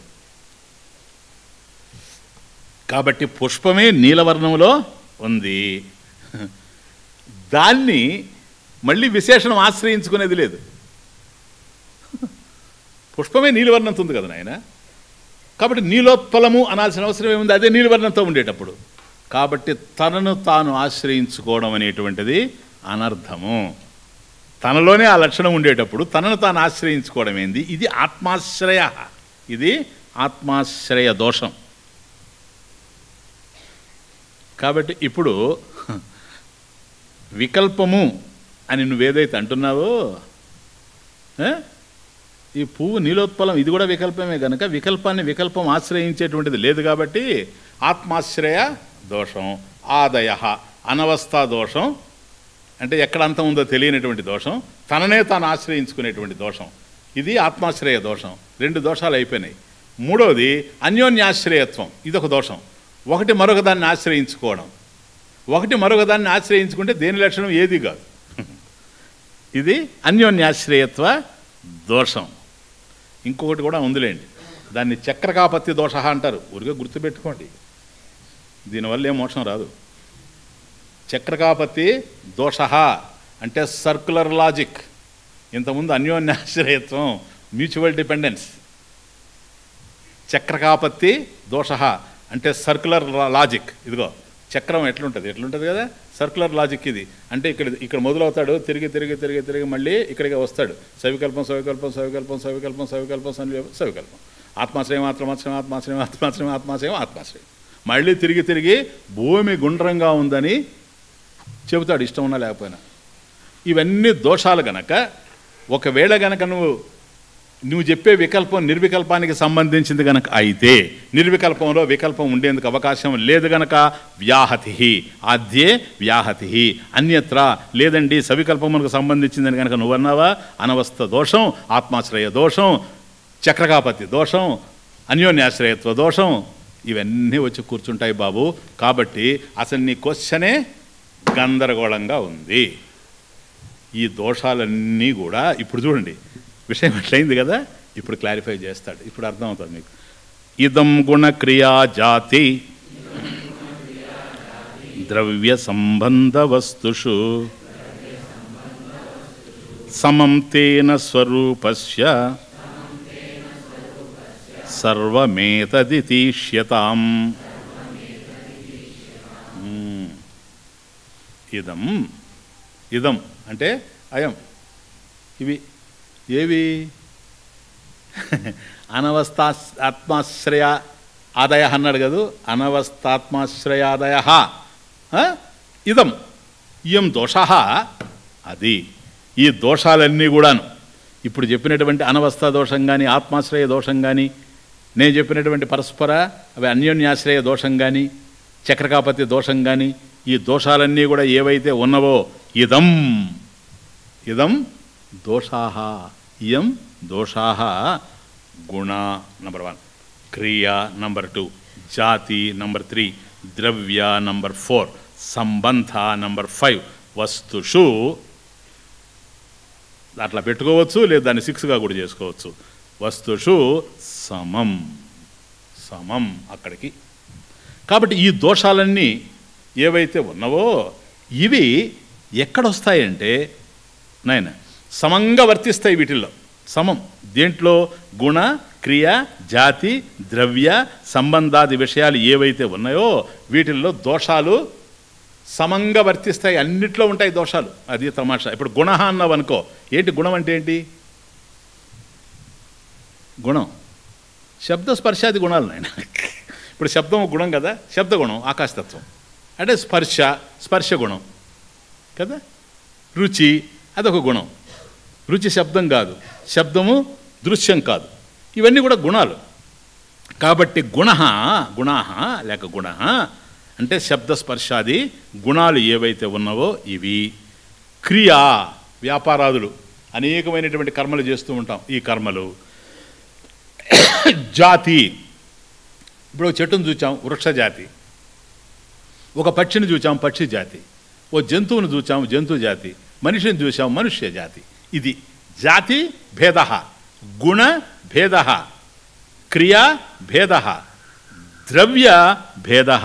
ద్రవ్య ఇప్పుడు పృథివ్యాది ద్రవ్యాలు. ఇప్పుడు పృథివీ జలము అగ్ని వాయువు ఆకాశము ఇవన్నీ కూడా ద్రవ్యాలు. వీటిల్లో పృథివీ ఆకాశం కాదు ఆకాశం వాయువు కాదు వాయువు జలము కాదు జలము అగ్ని కాదు. భేదం ఉంది. పంచభూతాల్లో భేదం ఉంది. ఇది ద్రవ్య భేదం. ఇవన్నీ కూడాను ఏవైతే ఉన్నాయో వీటిల్లో ఒక దాని యందు ఉండేటువంటి లక్షణం మరొక దాని యందు లేకపోవడం చేత దేనికది ప్రత్యేకంగానే ఉండడం వల్ల దోషపూరితంగా ఉన్నాయి గనక ఇవన్నీ నశించిపోతాయి. మరి ఈ దోషాలు బ్రహ్మమునందు ఉన్నవా? అది క్వశ్చన్ ఈ దోషాలు బ్రహ్మమునందు ఉన్నవా? ఇప్పుడు గుణ అని అన్నావు నువ్వు. శబ్దస్పర్శాది గుణాలు. బ్రహ్మం నిర్గుణం కదా? మరి గుణాలు ఇవి బ్రహ్మంలో గుణాలు ఉండేందుకు అవకాశం లేదు. పోనీ క్రియ అంటావా? నిష్క్రియత్వం కదా బ్రహ్మం. Actionless awareness. కాబట్టి బ్రహ్మ నిష్క్రియ సత్తా స్వరూపం అయినప్పుడు క్రియాశీలత్వం ఎక్కడి నుంచి వస్తుంది? కాబట్టి క్రియ లేదు. జాతి అంటావా? ఆయన లాంటి బ్రహ్మం ఇంకోటి కనుక ఉంటే ఆయన ఏ జాతి? ఈయన ఏ జాతి? బ్రహ్మం అఖండమైనప్పుడు జాతి ఉండడానికి అవకాశం లేదు. ఇంకేంటి? ద్రవ్యం పంచభూతాలు పరమేశ్వరుడు అయ్యేందుకు లేదు. అవి భిన్నంగా తెలుస్తూ ఉన్నాయి. పరమాత్మ అనంతమై ఉన్నాడు గనక అవి కూడా లేదు. సంబంధ ఒకదానితో ఒకటి సంబంధం ఉంటే దోషపూరితంగా ఉంటుంది. కానీ సంబంధాలు కూడా లేవు బ్రహ్మతో. బ్రహ్మకు సంబంధం ఉండాలంటే ఇంకొకరు ఉండాలి ఆయనకన్నా అన్యంగా. అదే కదా సంబంధం అంటే. మా సంబంధికులు వచ్చారండి అంటారు. ఎందుకంటే ఈయనకు సంబంధించిన వాడు వచ్చాడని అర్థం కొంప ముంచడానికి. అర్థమవుతుంది? కానీ బ్రహ్మం కొంప ముంచే ప్రశ్నే లేదు. కారణం ఆయన కొంపే లేదు. అనికేత అండర్స్టాండ్ కాబట్టి ఇవన్నీ కూడాను దోష సమం. వీటన్నిటిలో ఎక్కడైతే నామరూప జాతి క్రియ విశేష సంబంధాదులు ఉంటాయో అటువంటి చోట ఈ దోషాలు ఉంటాయి సమంగా మనకు కనపడతాయి. కానీ సర్వము ఏతత్ ఫోర్త్ లైన్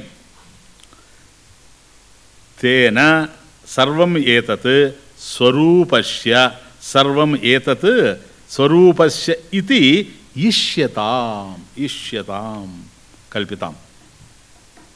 కాబట్టి ఇవన్నీ కూడాను బ్రహ్మమనందు ఉండేందుకు అవకాశమే లేదు గనక ఒకవేళ ఏవైతే నీకు కనపడుతూ ఉన్నాయో ఈ ప్రపంచంలో ఏది? నామ రూప జాతి గుణ క్రియ విశేష సంబంధాలు ఏవైతే ఉన్నవో అంటే నువ్వనే వికల్పంగా తెలుస్తూ ఉన్నాయో ఇవన్నీ మిథ్యకు సంబంధించినవే కానీ బ్రహ్మమునకు సంబంధించినవి కావు.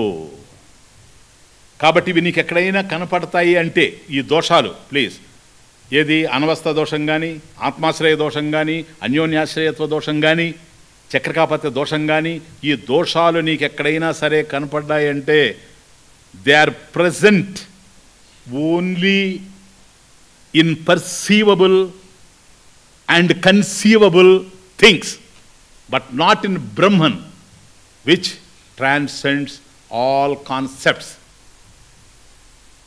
అర్థమవుతుందా ఇప్పుడు. కాబట్టి నీ ఆలోచనల కన్నా సంబంధించి ఉండాలా నువ్వు చూచన్నా ఉండాలా పర్సీవబుల్ అన్న ఉండాలా కన్సీవబుల్ అన్న ఉండాలా. ఇటువంటి వాటిల్లోనే ఈ దోషాలు తెలుస్తాయి. బ్రహ్మము నీ కంటికి గోచరమయ్యేటువంటిది కాదు.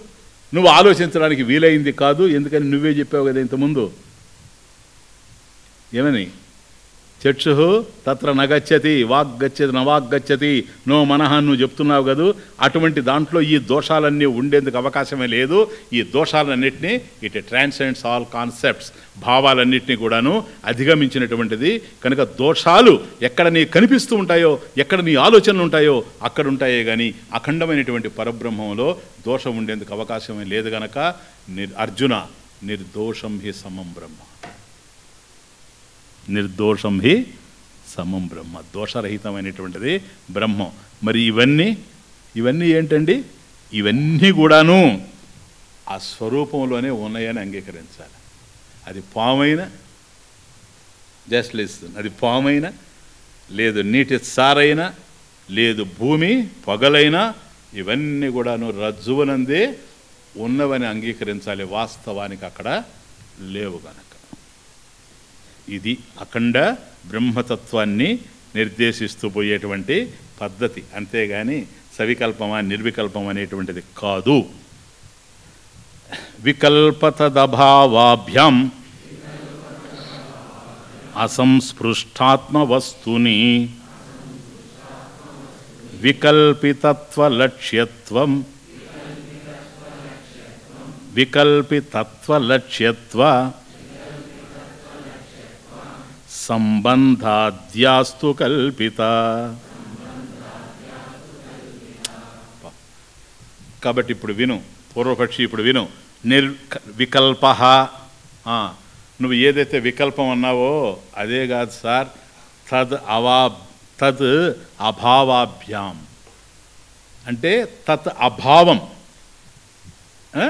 వికల్ప తత్ అభావం. అంటే వికల్ప తద్ అభావం నిర్వికల్ప వికల్ప అభావం నిర్వికల్ప కాబట్టి వికల్ప తద్ అవాభా అభావాభ్యాం అంటే వికల్ప నిర్వికల్పాభ్యాం। క్లియర్? వికల్ప నిర్వికల్పాభ్యాం। ఈ వికల్పము ఏదైతే వికల్పం ఉందో వికల్పం లేకుండా ఉందో నిర్వికల్పం। ఈ రెండు కూడాను ఇది ఇక్కడ అసలు విషయం పట్టిస్తున్నాడు. వికల్పం ఉంది గనక నిర్వికల్పం అనాల్సి వస్తుందిరా బాబు. బుజ్జి.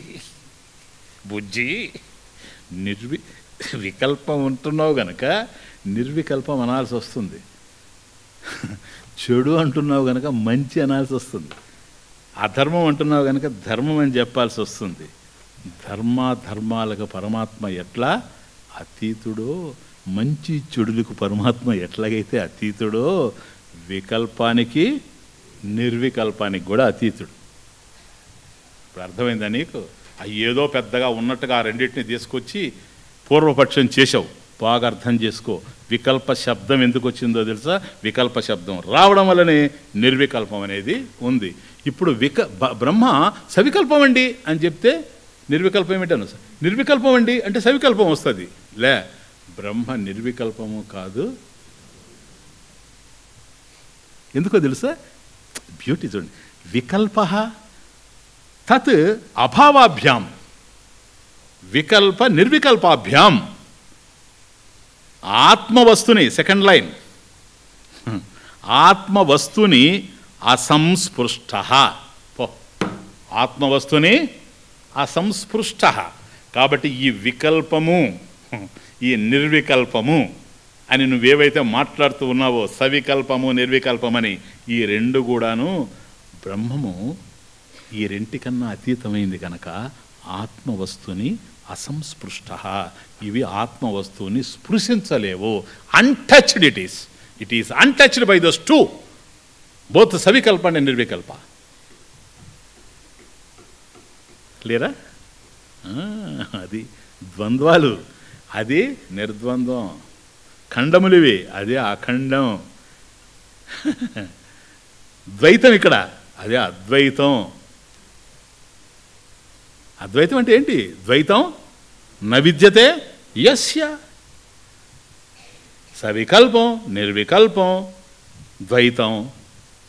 అక్కడ ఈ ద్వైతం ఉండడానికి అవకాశమే లేదు. ఎందుకని? ఏకమేవా? అద్వితీయం బ్రహ్మ. అది విషయం. కాబట్టి వికల్ప తదభావాభ్యాం అసంస్పృష్ట ఆత్మవస్తుని. అయితే ఈ రెండు ఏంటండి? కల్పితాలయ్యా. ఇదిగో వికల్పితత్వ లక్ష్యత్వ సంబంధాద్యాహ కల్పితా తు. సంబంధాద్యాస్తు కల్పితా సంబంధాత్ సంబంధాద్యాహ సంబంధాధులు. సంబంధాద్యా కల్పితా తు అది. కాబట్టి ఏదైతే ఈ వికల్పానికి నిర్వికల్పానికి అతీతంగా ఉందో ఈ ఆత్మని ఆత్మన్న పరబ్రహ్మ అన్న ఒకటే కదా? ఆత్మవస్తుని బ్రహ్మవస్తుని ఈ రెండు కూడా స్పృశించలేవు అసంస్పృష్ట. వికల్ప తదవ తదభావాభ్యాం వికల్ప అభావం నిర్వికల్పం వికల్ప వికల్పో నిర్వికల్పాభ్యాం ఆత్మవస్తుని అసంస్పృష్ట వెరీ క్లియర్ కాబట్టి వికల్ వికల్పితత్వ లక్ష్యత్వ సంబంధాధ్య కల్పితా తు. కాబట్టి అటువంటి ఈ రెంటికి అతీతమైనటువంటి పరమాత్మ స్వరూపం ఏదైతే ఉందో దానిలో దాని ఎందు ఈ వికల్పము నిర్వికల్పం అనేటువంటివి కల్పితా ఆరోపితా. సూపర్ ఇంపోజ్డ్ ఈ రెండు కల్పించబడ్డాయి ఆరోపించబడ్డాయి. ఎలాగూ సార్ శుక్తికా రజితవత్ రజ్జు సర్పవత్. కాబట్టి ముత్యపు చెప్పను చూచినప్పుడు అందులో వెండి ఉంది అని నువ్వు అనుకున్నా. ముత్యపు చెప్పలో వెండి లేదు సార్. అది నువ్వు ఆరోపించావు. ముత్యపు చిప్పలో తెల్లగా ఉంటే ముత్యపు చిప్ప వెండి ఉందని నువ్వు అనుకున్నావే కానీ ముత్యపు చిప్పలో వెండి లేదు. రజ్జు సర్పవత్. రజ్జువులో కూడాను సర్పం అనేది లేదు. సర్పం అనేది ఆరోపితాహ కల్పించబడింది. అట్లాగే ఈ వికల్ప నిర్వికల్పాదులు ఆత్మయందు కల్పించబడ్డాయి. క్లియరా?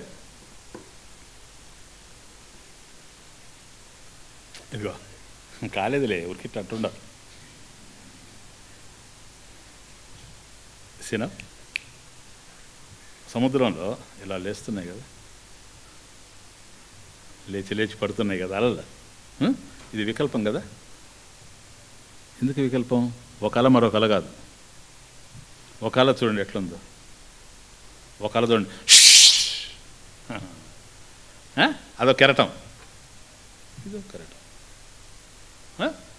ఈ కెరటం ఆ కెరటం కాదు ఆ కెరటం ఈ కెరటం కాదు. ఇది చాలా మైల్డ్గా పోతా ఉంది ఒక వేవ్ అది turbulent wave see the difference కానీ రెండు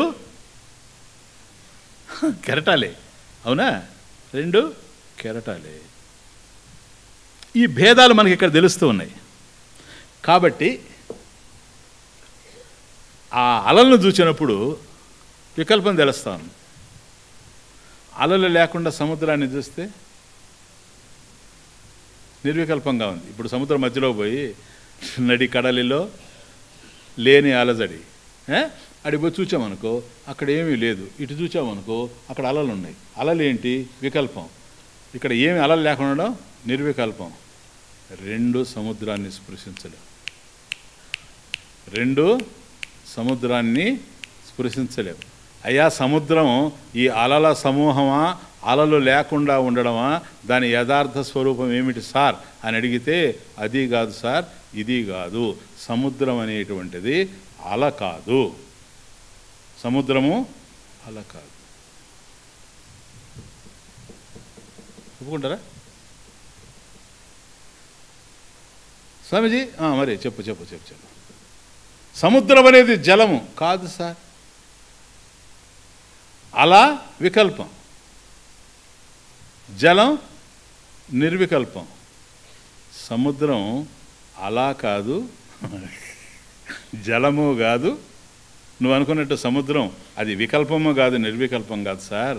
అది హెచ్ టూ అది హెచ్ టూ మూల వస్తువు మూల వస్తువు హెచ్ టూ అంతేనా రెండు పాలు హైడ్రోజన్ ఒక పాలు ఆక్సిజన్. అంతే వాటర్ వాటర్ వాటర్. కాబట్టి సముద్రం వికల్పం అయితే పోనీ ఎట్టు అలానేటువంటిది సవికల్పం అని నువ్వు అనుకుంటే ఈ రెండు కాదు అది నీరు. It is only water it's only water సముద్రం వాటర్ని మింగేది లేదు అలా పోయి సముద్రాన్ని కౌగులించుకునేది లేదు. ఎందుకని రెండు దాంట్లోనే ఉన్నాయి. వాస్తవానికి రెండు లేకపోయినా సముద్రం ఉంటుంది. నీళ్ళు ఉంటాయి కదా? ఉంటాయి కదా? ఈ రెండు వాటిని చేయలేదు దాన్ని. అసంస్పృష్ట. ఆత్మవస్తుని అసంస్పృష్ట. Okay example. ఇప్పుడు మీకు అర్థమైందే? లక్ష్యత్వం ఏదైతే అంటున్నావో బ్రహ్మ విషయంలో బ్రహ్మను తెలుసుకోవడానికి భాగత్యాగైన లక్షణ ఏదైతే ఉందో తత్వమసి వాక్యార్థం చేత దీని ద్వారా నిన్ను అక్కడికి పట్టుకుపోతున్నామే కానీ వాస్తవం చెప్పాలంటే ఏ లక్షణాన్ని బ్రహ్మకు ఆపాదించడానికి లేదయ్యా బాబు. ఎందుకని ప్రత్యేకమైన సంబంధం కూడా ఏమీ లేదు బ్రహ్మకి ఆయన ఏకమేవా? అద్వితీయం బ్రహ్మ వాటర్ లాంటి వాడు అంతేగాని ఆయన సముద్రమని కానీ లేక అలలని కానీ చెప్పడానికి అవకాశం లేదు. ఇవి ఏవి దాన్ని స్పృశించలేవు. అది అఖండాత్మ పరమాత్మ స్వరూపము. దాని నిర్ణయం చేయడమే. దాని ఎందు ఏక తాత్పర్యమే. ఉపనిషత్తుల యొక్క ఏకవాక్యత. అండర్స్టాండ్. పూర్వపక్షి ఇప్పుడు ఎందుకుందో ఉపనిషత్తు నీకు అర్థమవుతా ఉందే ఉన్నది ఏకమేవ అద్వితీయం బ్రహ్మ అఖండ పరబ్రహ్మ స్వరూపం ఏదైతే ఉందో అదే నీవు. మిగతా అన్నీ అందులో కల్పించబడ్డాయి. నీ వికల్పాలు నీ నిర్వికల్పాలు అన్నీ అందులో కల్పించబడ్డాయి. అర్థం చేసుకోవడానికే కానీ వాస్తవానికి ఉన్న వస్తువు it is Brahman one without second అద్వితీయ పరబ్రహ్మం.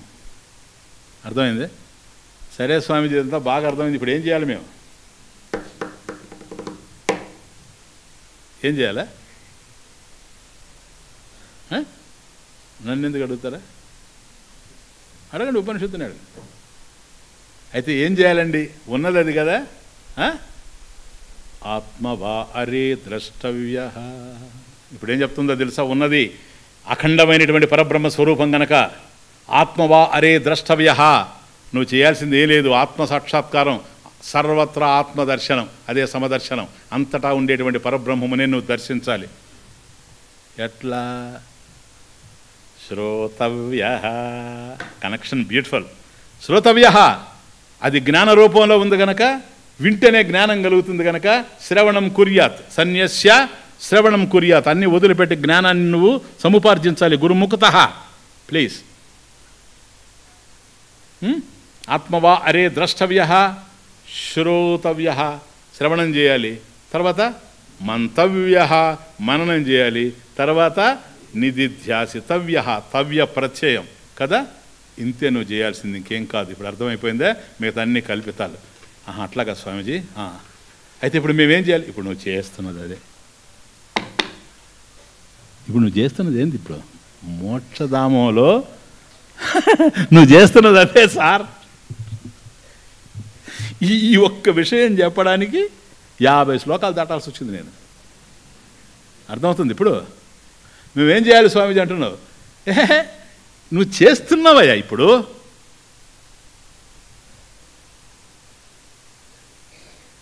అర్థమవుతుంది. ఇప్పుడు ఏంది అక్షరాభ్యాసం చేయమంటావు నన్ను? నువ్వు చాలా తరగతులు దాటావు. ఇప్పుడు నువ్వు చేస్తున్నది అదే. అర్థమవుతుంది? ఇత్తం వాక్యై తదర్థాను సంధానం శ్రవణం భవేత్. యుక్త్యా సంభావితత్వాను. సంధానం మననం తు తత్. పోనీ ఇంకేనండి హాయిగా. అర్థమైపోయింది కదా ఇప్పుడు? సో వికల్పం లేదు నిర్వికల్పం లేదు. సార్ ఇవన్నీ కూడా ఆరోపణలే దాని ఎందు ఆరోపించబడినవి. ఉన్నది ఒకే ఒక వస్తు. మీకు చెప్పాను చూచారా? Swami Ramatirtha in woods of God realisation అనే బుక్కులు అంటాడు. ఎందుకనో చెప్పాల్సి వస్తుంది కానీ వేదాంతానికి ఈ ద్వైత ప్రపంచం మీద సృష్టి మీద పెద్ద ఇంట్రెస్టే లేదు అది కేవలం అఖండ పరబ్రహ్మం నిందే దృష్టి నిలిపి ఉంది ఏకవాక్యత. అని రామతీర్థస్వామి అదే. కాబట్టి దాన్ని ఆత్మవారే ద్రష్టవ్య. కాబట్టి అనంతమైనటువంటిది ఎప్పుడైతే నీకు వస్తుందో మళ్ళీ శ్లోకా నంబర్ ఎయిట్. ఏదది? పరప్రేమానంద. పరప్రేమాస్పద. పరానంద స్వరూప ఉత్కృష్టమైనటువంటి ప్రేమ దేని మీద ఉంటుంది? ఉత్కృష్టమైన ఆనందాన్ని నీకు ఏదైతే ఇస్తుందో అనంత ఆనందాన్ని ఇచ్చేది ఏదో దాని మీదనే నీకు అనంతమైనటువంటి ప్రేమ ఉంటుంది. అది కేవలం ఆత్మ విషయమే కానీ రెండవ విషయం కాదు గనక అది లభ్యం కానంత వరకు బ్రహ్మము గనక సవికల్పమైతే ఈ ప్రపంచంలో అనేకమైనటువంటి వస్తువుల్ని పొందుండవు చూడు బ్రహ్మం వన్ మోర్ ఆబ్జెక్ట్ అన్ని వస్తువులు పొంది ఇప్పుడు ఎట్లయితే దుఃఖంలో ఉన్నామో బ్రహ్మమును పొందినా కూడా దుఃఖం పోదు. ఎందుకని? ఆయన ఇంకొక వస్తువు అవుతాడు. సవికల్పమైతే. కాబట్టి అనంతమైనప్పుడే బ్రహ్మము అనంతమైనప్పుడే అది పరానంద స్వరూప అందువల్ల పరమ ప్రేమాస్పద అది. లేదు నశించిపోయేటువంటి ఆనందాలు కావాలన్నా చెప్పు బ్రహ్మము తప్ప ఏదైనా పట్టుకో అదే. కానీ అనంతమైనటువంటి ఆనందం కావాలని కనుక నువ్వు కోరుకున్నావా అది కేవలం బ్రహ్మం వల్ల వస్తుందే కానీ ఏది ఏకమేవా అద్వితీయం బ్రహ్మ. దానివల్ల వస్తుందే కానీ రెండవది వచ్చేందుకు అవకాశం లేదు కనుక ఆ ఆత్మనే మనం కాంక్షిస్తూ ఉన్నాం కనుక ఆత్మవా అరే ద్రష్టవ్య ద్రష్టవ్య ఆత్మనే చూడు నాయన అంటే సాక్షాత్కరించుకో. ఏమని? ఉన్నది ఆత్మ ఒక్కటే. ఏ ఆత్మ? అయమాత్మ. అదేంటి? బ్రహ్మ. అయమాత్మ? బ్రహ్మ. ఇది బ్రహ్మాత్మ జ్ఞానము. ఆత్మ ఏ బ్రహ్మ అనేటువంటి జ్ఞానం. ఇది ద్రష్టవ్య. ఇది క్లియర్గా నువ్వు అపరోక్షంగా నీ అనుభవంలోకి రావాలి. వాళ్ళు చెప్పారు వీళ్ళు చెప్పారని కాదు. ప్రత్యక్షంగా నీకు తెలిసి ఉండాలి అది. పరోక్షం కాకుండా ఉండాలి. ఆత్మవారే ద్రష్టవ్య. దానికి ఏం చేయాలి స్వామీజీ? అది ఉన్నదే గనక లేనిది కాదు గనక నువ్వు వింటే సరిపోతుంది సార్. అది జ్ఞానంలో ఉంది గనక మోక్షం అనేటువంటిది జ్ఞానంలో ఉంది గనక వినడం వలనే వస్తుంది. శ్రోతవ్య. అది తర్- తవ్య ప్రత్యయం. తవ్య ప్రత్యయం. శ్రోతవ్య. గురుముఖత నువ్వు శ్రవణం చేయాలి. అది ఈ యాభై మూడో శ్లోకంలో శ్రవణం. వినండి. ఇత్తం ఈ విధంగా. ఇత్తం ఈ విధంగా. ఇంతవరకు మనం చూచాం చూసారా? ఇవన్నీ చూసి వచ్చిన తర్వాత ఇప్పుడు ఏం జరుగుతుంది అంటే ఇత్తం మహావాక్యై అది అర్థం. ఇత్తం వాక్యై ఇత్తం తత్వమస్యాది మహావాక్యై అంటే భాగత్యాగ లక్షణేనా? అది. వరుసగా వచ్చేసేయాలి ఇవన్నీ. అన్వయ వ్యతిరేకాభ్యాం భాగత్యాగ లక్షణేన ఇత్తం మహావాక్యై తత్వమస్యాది మహావాక్యై. తదర్థానుసంధానం. తత్ అర్థ అనుసంధానం. తదర్థానుసంధానం. ఆ తత్వమసి వాక్యం ఏదైతే ఉందో ఆ తత్ ఏంటో ఆ త్వం ఏమిటో ఆ అస్సి పదం ఏంటో దీని యొక్క అర్థం ఏమిటో అనుసంధానం. దాని యొక్క అదార్ యథార్థమైనటువంటి అర్థాన్ని గ్రహించడం చేత ఎట్లా? వాక్యై అఫ్కో కోర్స్ ఎట్లా గ్రహిస్తావు? గురూపదేశేన. ఆ. యత్ ప్రాప్తం తత్ శాస్త్రేణ బోధితవ్యం. గురూపదేశాన.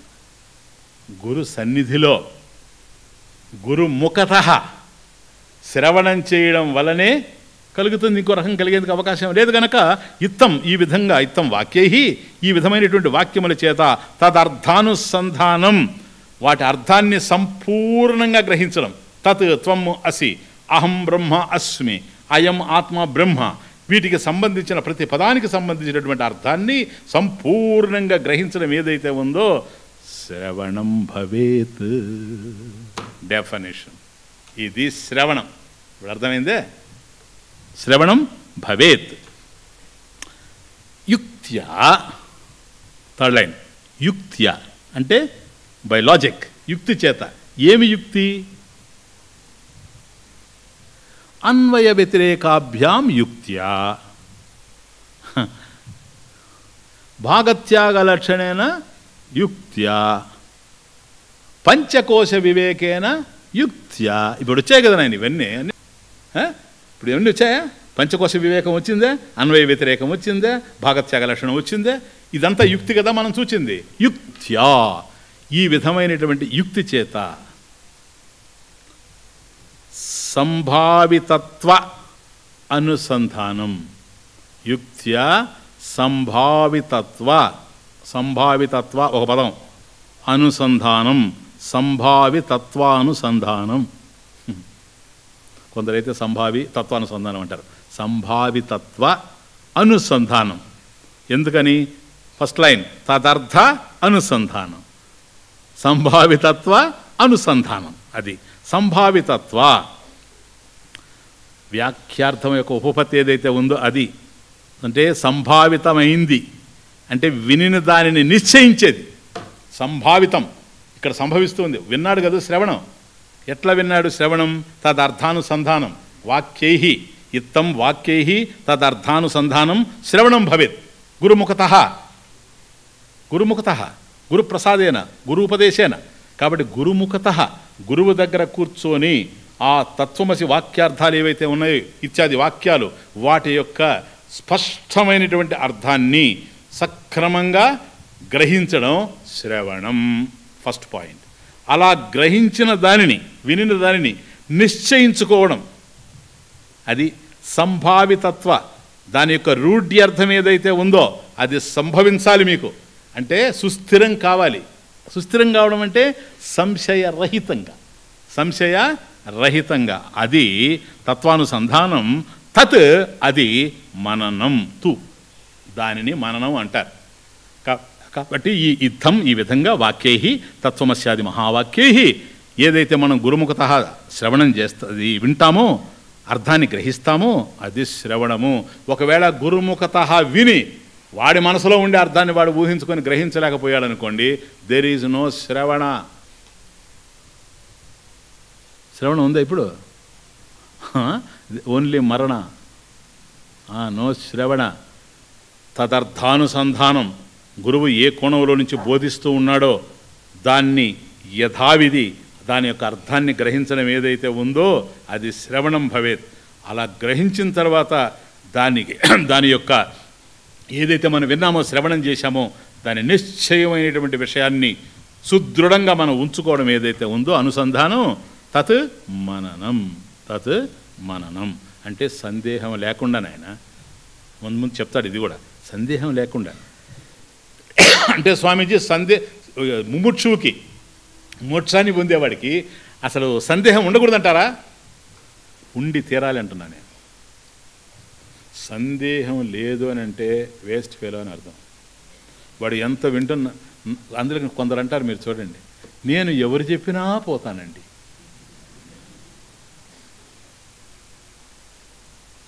ఎవరు చెప్పినా వింటానండి. నాకు అన్నీ బాగుంటాయండి. ఎందుకు బాగు తెలియదు కనుక వాడికి. ఇప్పుడు వీడు ఏం చేస్తాడు చెప్పండి? ఒక స్వామివారు అంటుండేవాడు నాతో. నాయన ఆయన అంటూ తమాషగా నీకు వచ్చినట్టుగా మాకు రారు కానీ జనం ఉపన్యాసాలు పోతే నువ్వు యజ్ఞాలకు వచ్చినట్టుగా. కానీ ఒకటి మాత్రం ఫ్యాక్ట్ నాయన అనేవాడు నాతో జనం. ఏంటి ఏంటి స్వామీజీ అంటే మనకంటూ మనోళ్ళు కొందరు ఉంటారు ప్రతి ఊర్లో. ఏ స్వామీజీ పోయినా వాళ్ళు వస్తారు సాయంత్రం అయితే. అందుకని డైలీ ఎంగేజ్మెంట్స్ చూసుకుంటూ ఉంటారు వాళ్ళు ఆ ఊర్లో.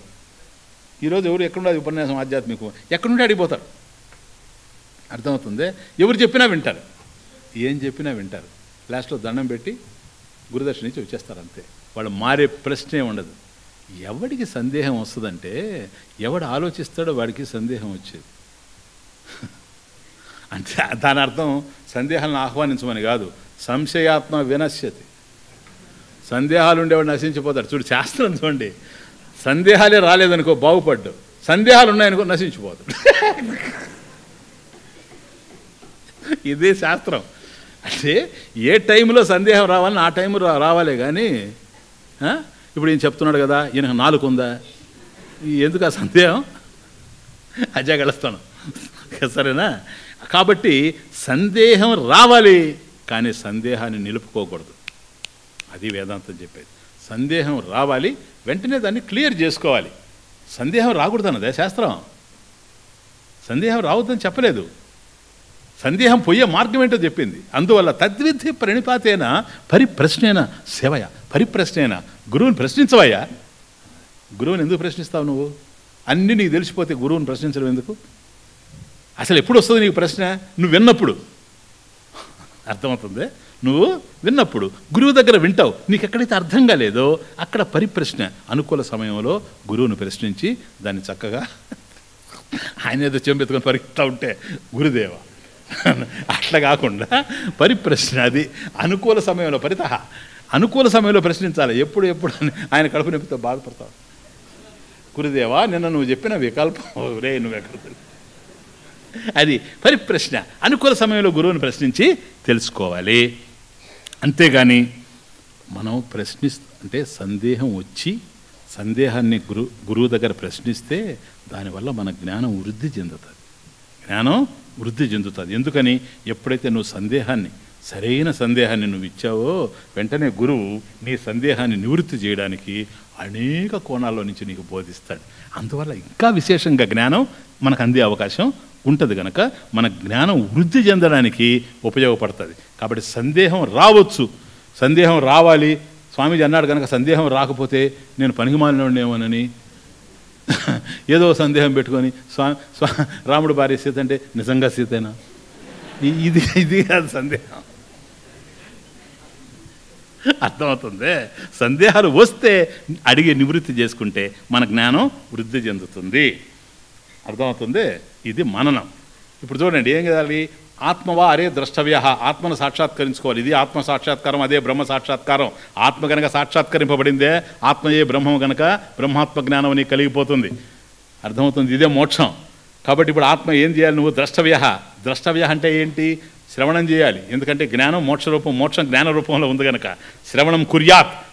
సమస్తాన్ని వదిలిపెట్టి సన్యాస శ్రవణం శ్రవణం కుర్యాత్. అన్నిటిని వదిలిపెట్టి నువ్వు శ్రవణం చేస్తున్నావు. ఓకే గురుముఖత ఏదైతే నువ్వు వింటున్నావో దాని అర్థాన్ని గ్రహిస్తున్నావో దాన్ని సంశయం లేకుండా నిలబెట్టుకోవడం మననం. ఇప్పుడు శ్రవణం అయిపోయింది మననం అయిపోయింది.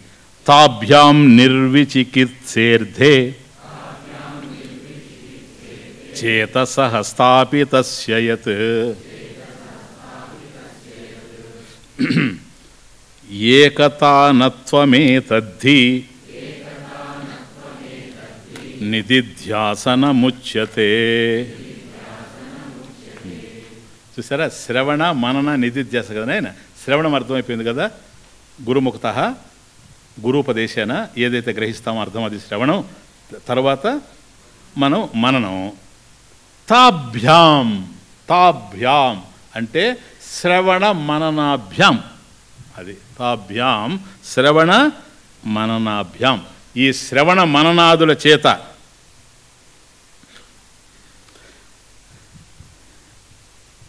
నిర్విచికిత్సే.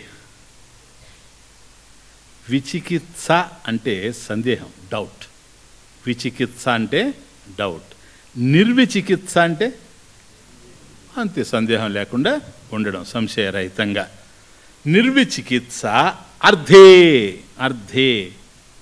విషయం. తాభ్యాం ఈ శ్రవణ మననాలు జరిగిన తర్వాత వాటి చేత నిర్విచికిత్స అర్ధే. సంశయరహితంగా అంటే సంశయాలన్నీ కూడాను తొలగించబడిన తర్వాత అర్ధే విషయం ఏదైతే మిగిలింటుందో ఆ విషయమునందు సందేహాలన్నీ తీరిపోతే ఏ విషయం మిగిలి ఉంటుంది బ్రహ్మం బ్రహ్మం కదా నాయన? భిద్యతే హృదయ గ్రంథి ఛిద్యంతే సర్వ సంశయా క్షియంతే చాస్య కర్మాణి తస్మిన్ దృష్టే పరావరే అది కదా ముండక ముండకోపనిషత్ కనుక ఎప్పుడైతే సందేహాలనే నివృత్తి అయిపోతాయో అంటే ప్రమాణగత సంశయం లేదు. అది సంశయాలు పోవడం అంటే ప్రమాణగత సంశయం లేదు. ప్రమేయగత సంశయం లేదు. పరమాత్మ ఎవరు అనే విషయంలో నీకు సందేహం లేదు. ఆ పరమాత్మను తెలుసుకోవడానికి ఏదైతే ప్రమాణంగా ఉందో ప్రమాకరణం ప్రమాణం శాస్త్రం దాని విషయమునందు నీకు సందేహం లేదు. అన్ని సందేహాలు సమస్యం విడిపోయిన తర్వాత నిర్విచికిత్సే నిర్విచికిత్సే సంశయరహితంగా అర్థే ఆ పరబ్రహ్మ విషయంలో సెకండ్ లైన్ స్థాపితస్య సెకండ్ లైన్ స్థాపితస్య చేతస. కాబట్టి సంశయాలు లేకుండా ఉండేటువంటి చోట స్థాపితస్య స్థిరీకరింపబడినటువంటి ధృవీకరించబడినటువంటి స్థాపితం. విగ్రహ స్థాపనం జరిగిందంటావు. ఇంకా కదలడు విగ్రహం. అట్లా. అంటే అర్థం బ్రహ్మ విషయం ఏదైతే ఉందో దాంట్లో స్థాపితస్య చేతసహ. చేతసహ చిత్తం. బుద్ధి మనసు ఏదైనా సరే. కాబట్టి ఒక్కసారి శ్రవణ మననాదులు చేసి సంశయాలన్నీ పోగొట్టుకొని సంశయాలు ఏది మననంలో? శ్రవణ మననాలలో విషయాన్ని గ్రహించడం సంశయాన్ని నివృత్తి చేసుకోవడం జరిగిపోయిన తర్వాత అర్థే ఆ విషయం ఏదైతే ఉందో పరబ్రహ్మమైనటువంటి విషయం ఆ విషయమునందు స్థాపితస్య ధృవీకరస్య. ప్లీజ్ అక్కడే ఏదైతే ధృవీకరణం చెందిందో సుస్థాపితంగా నిలిచిపోయిందో ప్రతిష్ట అది. సరేనా? ధృవీకరణాయ. ఆ, ధృవీకరణాయ. చేతసహ. మనసు ఏదైతే ఉందో ఏకతానత్వం. దీన్ని ఏకతానత్వం అంటారు. అంటే ఏంటో తెలుసా? ఏక వృత్తిత్వం. ఏకతానత్వం ఏక వృత్తిత్వం. ఇక్కడికి వచ్చిన తర్వాత ఇదో బాబు ఇక్కడి నుంచి మనం లోపలికి వెళ్తున్నాం జాగ్రత్తగా నాల. ఏకతానత్వం ఇక్కడ ఏక వృత్తిత్వం ఇక్కడ ఒకే వృత్తి ఉంది ఇప్పుడు. ఒకే వృత్తి ఉంది. ట్రై టు అండర్స్టాండ్ ఎప్పుడైతే అంత విషయాన్ని విన్న తర్వాత రెండో వృత్తి ఎందుకు ఉంటుంది తెలుసా? సంశయం ఉంటే ఉంటుంది. మననంలో సంశయం ఎగిరిపోయింది. సంశయం ఉందంటే మననం జరగలే. అందుకని ఆకాశాన్ని చూస్తున్నాం. ఎప్పుడైతే మననం జరిగిందో సంశయాలు ఎగిరిపోయినాయి. ప్రమాణగత సంశయం లేదు. ప్రమాణగ ప్ర ప్రమేయగత సంశయం లేదు. అన్నీ పోయిన తర్వాత ఇంకేం మిగిలింది? ఏకమేవ అద్వితీయం బ్రహ్మ. ఏకవృత్తిత్వం ఇదే ఏకతానత్వం. ఏకవృత్తి ఉన్నది బ్రహ్మం ఒక్కటే అనేటువంటి ఏకతానత్వం ఉంది ఇప్పుడు. అంటే అఖండాకార వృత్తి. ఏకతానత్వం అఖండాకార వృత్తి చెప్పాను. అఖండాకార వృత్తి. ఇంకా బ్రహ్మము తప్ప రెండవది లేదు. ఒకే బ్రహ్మ విషయమే ఏకవృత్తిగా ఉంది. ఆ? సెకండ్ లైన్లో యత్ చివర. యత్. ఏకతానం అను ఏకతానత్వం ఉండ ఏతద్ది. యత్ ఏతత్ హి. యత్ ఏతత్. ఏదైతే ఉందో. అంటే నేను వినండి తాభ్యాం. శ్రవణ మననాదుల చేత నిర్విచికిత్స సంశయరహితంగా.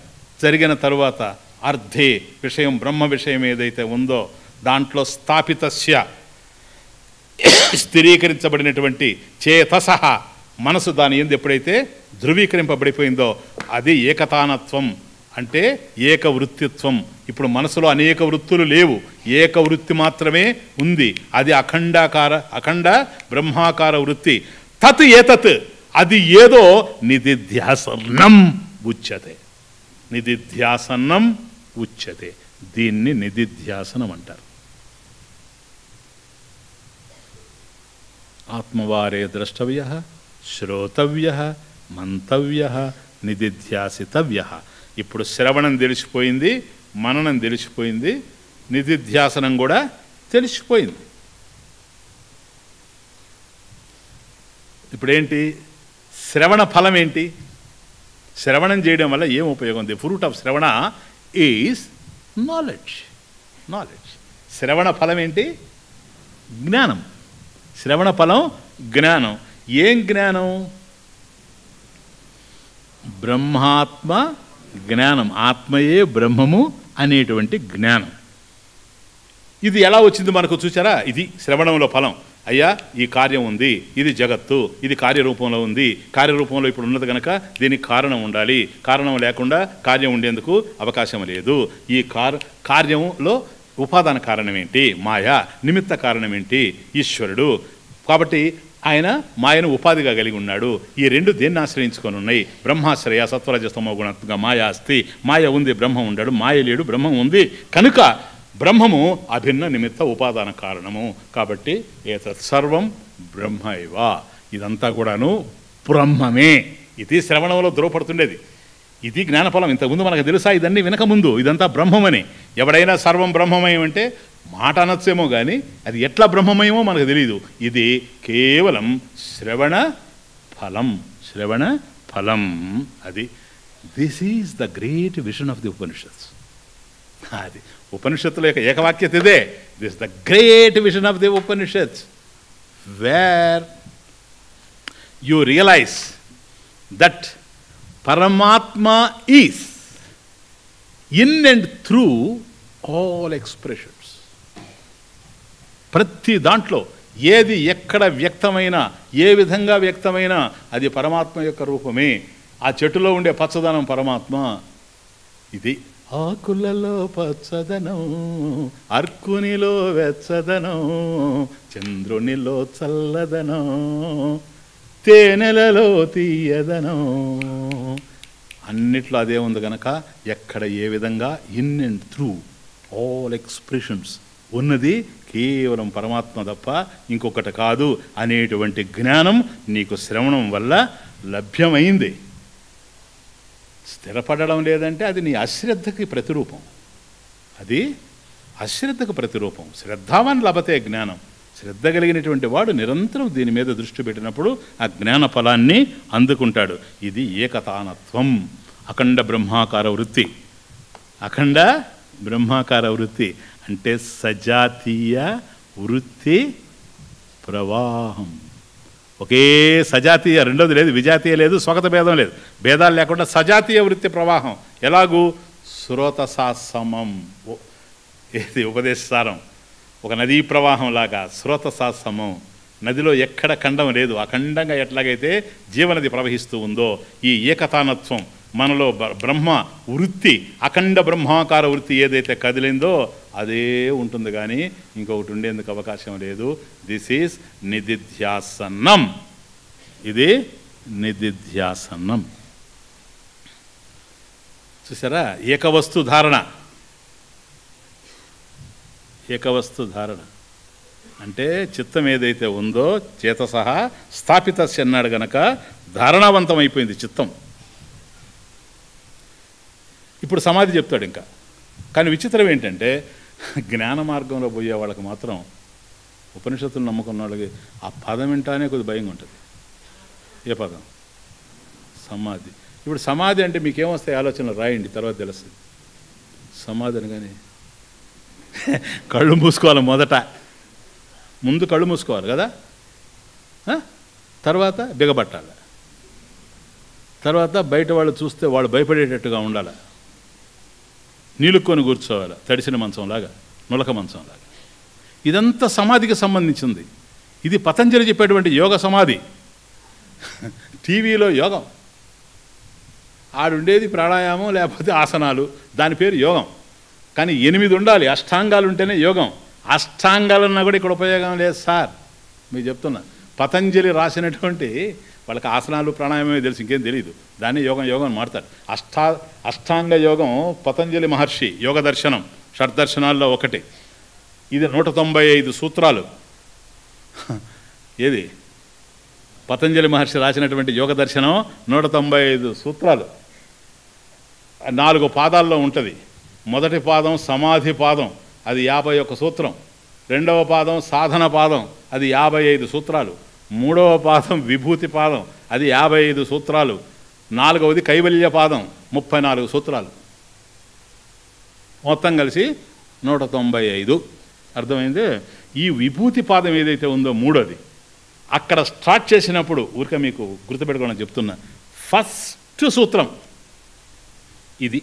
ఇప్పుడు ఏదైతే స్థాపితస్య చేతసహ అన్నాడే దాన్ని ఎట్లా చెప్తాడంటే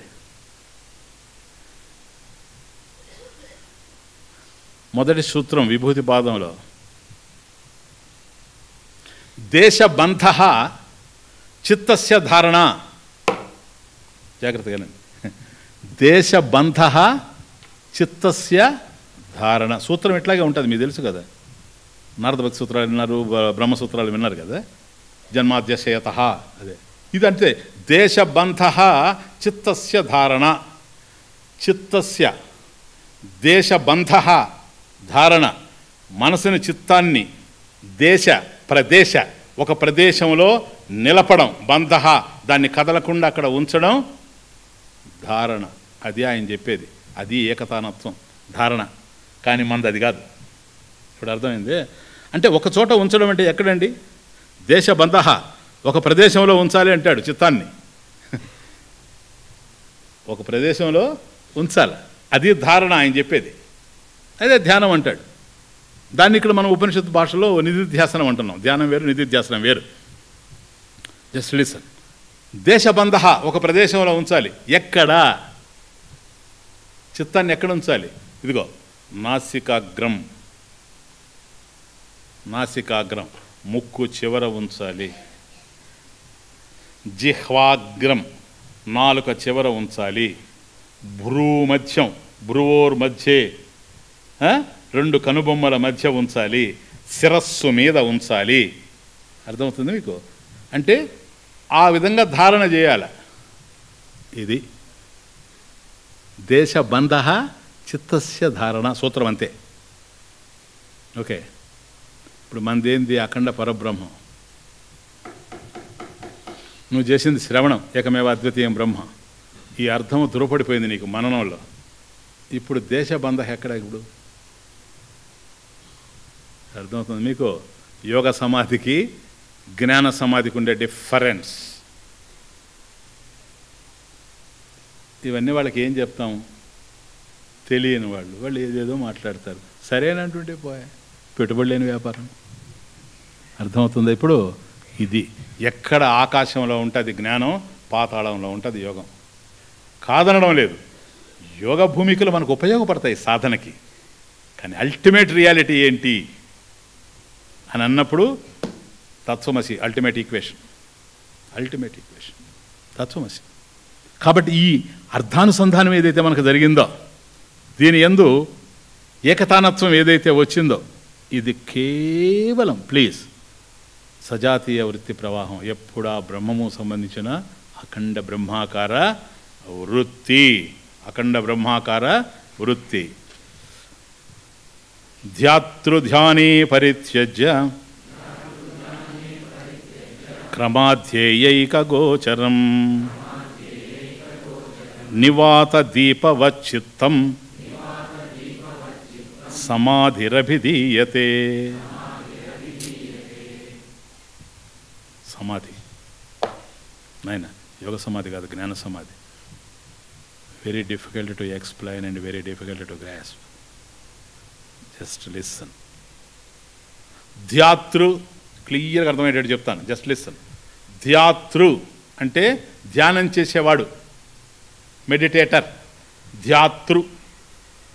ధ్యాన ధ్యానము ఎప్పుడు మూడు ఉంటాయి ధ్యాతృ అంటే ధ్యాత.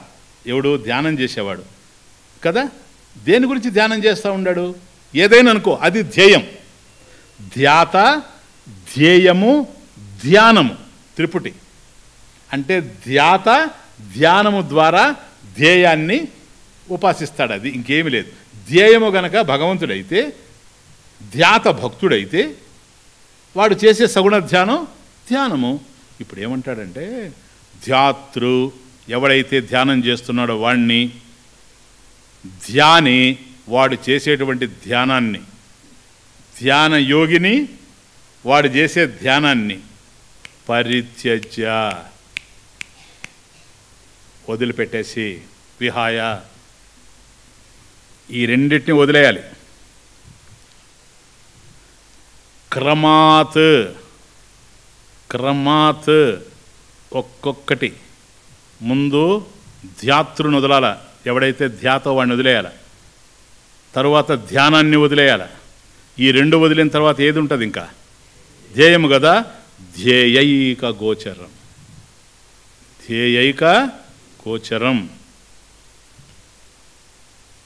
ఇక్కడికేనండి నేను? ధ్యానం చేసేవాడు ఎవడు?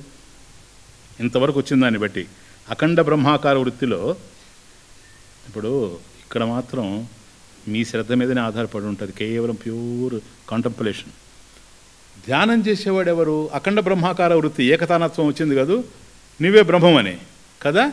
నీవే బ్రహ్మమైనప్పుడు ఆత్మ కంటే బ్రహ్మ వేరు కాదని నీకు డిసైడ్ అయిపోయినప్పుడు నిధిధ్యాసనంలో స్పష్టమైపోయింది కనుక ఇంతకు ముందే ఏకతానత్వం. ఇప్పుడు నువ్వు గనక ఉన్నావు అని అంటే నువ్వే బ్రహ్మము గనక ఉంటే నువ్వన్నా ఉండాలి లేకపోతే బ్రహ్మమన్నా ఉండాలి. అప్పుడే ఏకతానత్వం. లేకపోతే నువ్వు ఆయన ఇద్దరు ఉండడానికి అవకాశం లేదు. కాబట్టి నేను ధ్యానం చేస్తున్నాను అన్నప్పుడు ఎవరి మీద ధ్యానం చేస్తున్నావు? బ్రహ్మం మీద ధ్యానం చేస్తున్నావు ఓహో.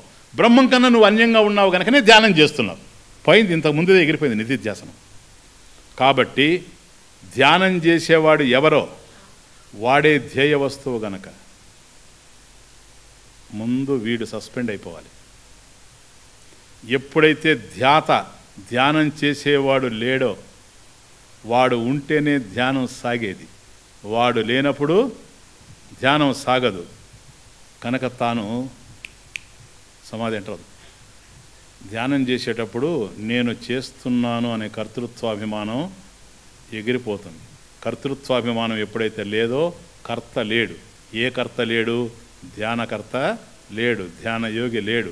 ధ్యాన యోగే లేడు గనక ధ్యానం లేదు. ఏముంది? ధ్యేయం ఒక్కటే ఉంది. ధ్యేయం అంటే ఇప్పుడు అఖండ బ్రహ్మాకార వృత్తి వచ్చేసింది కదా నాయన. అది బ్రహ్మస్థితి సత్యం జ్ఞానం అనంతం అని ఆయనకి అర్థమైపోయింది కదా. ఆ సత్యం జ్ఞానం అనంతం అనేటువంటి వృత్తి మాత్రమే ఉంది. సత్యం జ్ఞానం అనంతం అనే వృత్తిని నేను ధ్యానం చేస్తున్నానని లేదు. నేనే లేను. నేను లేను కనుక ధ్యానం కూడా లేదు. నేను ధ్యాతృ ధ్యాన ధ్యానక్రియ రెండు లేనప్పుడు ఉన్నటువంటి అఖండ బ్రాహ్మీ స్థితి ధ్యేయైక గోచరం. ఆ ధ్యేయం ఏదైతే ఉందో ఏకగోచరం అదొక్కటే నాకు అందుతూ ఉంది ధ్యానంలో ఈ రెండు డ్రాప్ అయిపోయినాయి. బాగా అర్థం చేసుకోండి. అదే గనక ధ్యానం చేస్తాడు చూడండి. ఇది డిఫరెన్స్ బిట్వీన్ ధ్యానము అండ్ నిధిధ్యాసనము.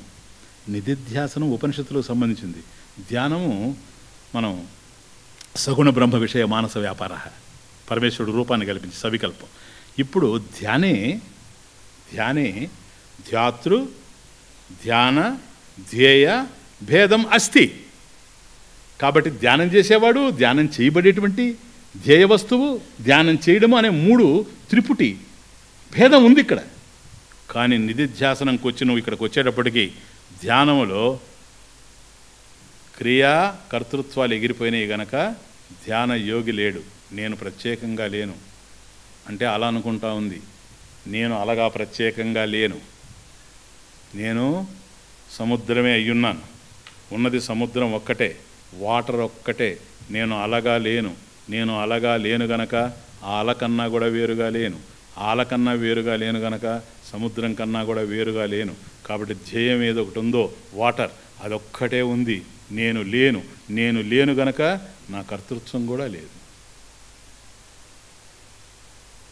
అహమి నా శివాజీ అహం అహం తయ.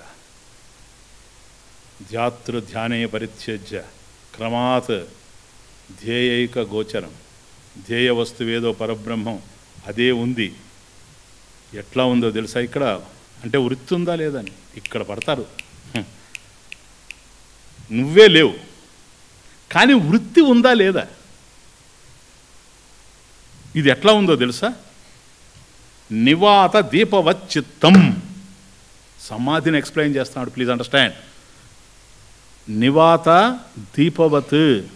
వాత అంటే గాలి. నివాత అంటే గాలి లేని ప్రదేశం. దీపవత్. గాలి లేని ప్రదేశంలో దీపము వలె చిత్తం. మనసు ఏదైతే ఉందో. అర్థమవుతుంది ఇప్పుడు? మనసు ఉంది సమాధిలో మనసు ఉంది వాళ్ళు యోగ సమాధిలో చెప్పేది అంటే మనసు కూడా ఉండదని. సీ ద డిఫరెన్స్ మనసు ఉంది. మరి మనసు ఉంటే సమాధి ఎట్లయింది? చెప్తాను ఇప్పుడే. సమాధి అభిధీయతే. దీన్ని సమాధి అని చెప్తారు. కాబట్టి ఆత్మను దర్శించమన్నాం. ఆత్మవారే ద్రష్టవ్య దానికి ఏం చేయాలి? శ్రవణం అంటే ఏంటో చెప్పాం. మననం అంటే ఏంటో చెప్పాం. నిధిధ్యాసనం అంటే చెప్పాం. నిధిధ్యాసనంలో ఏకతానత్వం వచ్చింది. అఖండ బ్రహ్మాకార వృత్తి. ఆ అఖండ బ్రహ్మాకార వృత్తిలో ధ్యా ధ్యానం చేసేవాడు లేడు. ధ్యాతృ. ధ్యానము లేదు. కేవలం పరబ్రహ్మమే ఉంది. ఎట్లా ఉందో తెలుసా? నివాత దీపవత్. వాతీతి వాత. వాతము అంటే వాయువు. వీచేటువంటిది వాయువు వాతీతి వాయు. వాతీతి. వాతీతి వాత. ఏదైతే వీస్తూ ఉంటుందో అది గాలి. కదా? వాతం. నివాత. అట్లా వీచకుండా ఉండేటువంటి గాలి. నివాత ప్రదేశే స్థిత. నివాత ప్రదేశే స్థిత. నివాతస్థ. నివాస నివాత ప్రదేశే. వాతరహిత ప్రదేశే స్థిత దీపవత్ దీపవత్ గాలి లేని చోట a flame in a windless space in a breezeless place not airless not airless నివాత breezeless windless పగర్థం చేసుకోండి. గాలి లేని చోట దీపం అని అన్నప్పుడు అసలు గాలి లేకపోతే దీపం ఉండదు ఆరిపోద్ది. కుండలో పెట్టి మూసి ఆరిపోద్దులే చూడు. గాలి ఉండాలి. ఎంత ఉండాలంటే దీపం ఆరిపోకుండా ఉండడానికి ఎంత ఆక్సిజన్ అవసరమో అంతే ఉండాలి. అంతేగాని అది బ్రీజ్ కాకూడదు అది విండ్ కాకూడదు. అది ఆడ గాలి ఉండాలి కానీ ఆరిపోయేటట్టుగా ఉండకూడదు. కాబట్టి గాలి లేని చోట దీపం అంటే గాలి లేని చోట అంటే కుండలో పెట్టేసి మూతేసేయమని కాదు. గాలి ఉంటుంది ఆరిపోయే అవకాశం లేకుండా ఉండేటువంటి చోట విండ్లెస్ స్పేస్ ఫ్లేమ్ ఎట్లాగైతే అంటే కొద్దిగా ఎక్కువైనా కూడా ఇది చూడండి ఫ్లిక్కర్ అవుతుంది. సిదేస్ ఓకే ప్లీజ్ ఇదిగో. కొద్దిగా ఎక్కువైనా కూడాను. అది కూడా లేకుండా. నివాత ప్రదేశే దీపవత్ స్థిత. అంతేగాని వాయురహితం కాదు. వాయురహితం అంటే లేకుండా కాదు. ఈ విధంగా చేసిన తర్వాత ధ్యేయ ఏకగోచరం. ఆ ధ్యేయ రూపమేదో బ్రహ్మం అఖండ బ్రహ్మాకారం. అది ధ్యేయ ఏకగోచరం ఏకగోచరం విషయ. తత్ ఆత్మా తత్ సంవిత్ తత్ బ్రహ్మ. This is samadhi this is samadhi ఇప్పుడు ఎక్కడుందో తెలుసా? త్రిపుటిలో మధ్యలో ఉంది. రెంటికి నడుమా చోటున్నది. దాటేవారికి అది తెలిసి రెంటికి నడుమ చోటున్నది. దాటేవారికి అది తెలిసి మది నిలిపి దాటిరి పెద్దలు ఆవలికి. ఎప్పుడో రాశాను. Twenty years back. మది నిలిపి దాటిరి పెద్దలు ఆవలికి. ఉన్నదిగా చవి ఓ మనస. సమాధిలో మనసు ఉంది అది నా పాయింట్. ఉన్నదిగా అంచవే ఓ మనస. వేరుండు లేదనే తత్వము తెలుసా. ఉన్నదిగా అంచవే ఓ మనస. ఏకతానత్వం అఖండ బ్రహ్మాకార వృత్తి. రెంటికి నడుమా చోటున్నది. దాటేవారికి అది తెలిసి ధ్యాతృ డ్రాప్. ధ్యాన డ్రాప్. రెంటికి నడుమ చోటున్నది దాటేవారికి అది తెలిసి. ఈ రెండు పరిత్యజ్య వదిలేసిన తర్వాత మది నిలిపి. ఎక్కడ? ధ్యేయైక గోచరం బ్రహ్మ. ఆత్మవస్తున సంవిత్ ఆత్మ మది నిలిపి దాటిరి పెద్దలు ఆవలికే. తరతి శోకం ఆత్మ ఆత్మ ఇదేం తెలుసుకున్నాడు గనక? తరతి దాటేస్తూ ఉండాడు. దేన్ని? శోకాన్ని దుఃఖాన్ని ద్వైతాన్ని దాటుతూ ఉండాడు. ఇది ఇంకేం లేదు. క్లియర్? వృత్తయస్తు తదానీం అజ్ఞాత అప్యాత్మగోచరా స్మరణాదనుమీయంతే ఉత్తితస్య సముత్తితాత్. ఆ, చూడండి. ధ్యాత లేడు. సమాధికి వచ్చేసాం. ధ్యాత లేడు. ఇప్పుడు సమాధి అంటే అర్థమైందా మీకు? సమాధి. ధి అంటే బుద్ధి. సమాధి. సమాధిత బుద్ధి. సమాధి. సమాధిత బుద్ధి. సమాధి. అంతేగాని సమాధిలో మనసు లేదు బుద్ధి లేదు ఏమీ లేదు నిర్వికల్పం అది ఇది కాదు. అదంతా యోగం మాట్లాడే పిచ్చి మాటలు. ఇప్పుడు ఏంటో తెలుసా సమాధి అంటే? నాయన మీకు అర్థమైందా? యోగ సమాధిలో కూర్చోవాలి ఇట్లా. అవసరం లేదు ఇదిగో. రమణ మహర్షి ఎప్పుడు సమాధి? రమణ మహర్షి ఎప్పుడు సమాధి? ఇలా చూస్తున్నాడు అంటే మనిషిని మనకు అనిపిస్తూ ఉంటుంది. మనం వస్తూ ఉంటే మనల్ని చూస్తున్నాడు అని. ఆయన కళ్ళు ఎలా ఉంటాయో తెలుసా? కిటికీ రంధ్రాల్లాగా ఉంటాయి అంటే మనల్ని చూచినట్టే ఉంటుంది కానీ సమాధిలో ఉంటాడు. బాహ్య దృశ్యానువిద్ సవికల్పం. కళ్ళు మూసాడనుకో అంతర దృశ్యానువిద్ సవికల్పం. ఎక్కడ చెప్పాను తెలుసా? దృగ్దృశ్య వివేకంలో చెప్పాను ఇవన్నీ మీకు. ఎగ్జిబిషన్ గ్రౌండ్లో. అర్థమవుతుంది? కనుక యోగ సమాధిలో ఉండేవాడు అలా ఆయన ఏదో లోపలికి వెళ్ళాలి. కానీ ఇక్కడ మనకు అవసరం లేదు. అలా చూస్తూ ఉంటాడు జ్ఞాని. ఎవడైతే ఆయన్ని చూస్తున్నాడో వాడికి కనిపిస్తుంది మనలాగే చూస్తున్నాడని లోపల మాత్రం ధ్యాత సస్పెండ్ అయిపోయి ఉంటాడు. ధ్యానం సస్పెండ్ అయి ఉంటుంది. కేవలం తనలో తానుగా ఉంటాడు ఇది. కేవలం మనం ఇలా కూర్చొని ఇలా చేస్తే సాధన కాదు. నువ్వు ఎట్లా ఉన్నా సాధనే విషయం తెలిస్తే విషయం తెలియలేదా? నువ్వు ఎలా ఉన్నా సాధన కాదు. See the difference between yoga and jnana కాబట్టి వృత్తయ స్తూ తదానీం తమ తదానీం ఈ సమాధిలో. ఎక్కడొస్తుందంటే పాయింట్ అంతా? అయ్యా ధ్యాత లేడని చెప్తివి ధ్యానం లేదని చెప్తివి ధ్యేయమే ఉంది అని చెప్తివి. ఇది సమాధి అన్నావు. ధ్యేయం ఒక్కటే ధ్యేయైక గోచరం సమాధి కదా? అది ఎవరికి తెలిసింది? క్రిటికల్ క్వశ్చన్ ధ్యాత లేడు ధ్యానము లేదు. ఉన్నది ధ్యేయైక గోచరం. ధ్యేయక గోచరం విషయ ఆత్మ సంవిత్ బ్రహ్మ. కదా? మరి ఈ రెండు లేకపోయినా అది ఉంది అనేది ఎవరికి తెలిసింది? అది పాయింట్. ఇదిగో వృత్తయ తు తదానీం తదానీం సమాధిలో. తదానీం అంటే సమాధిలో. అంటే సమాధి స్థితిలో. సమాధి స్థితిలో ఉన్నాడు కదూ? అక్కడ. వృత్తయ వృత్తులు ప్లూరల్. వృత్తయ. తదానీం తర్వాత అజ్ఞాత. తదానీం అజ్ఞాత తదానీం సమాధిలో అజ్ఞాత అపి.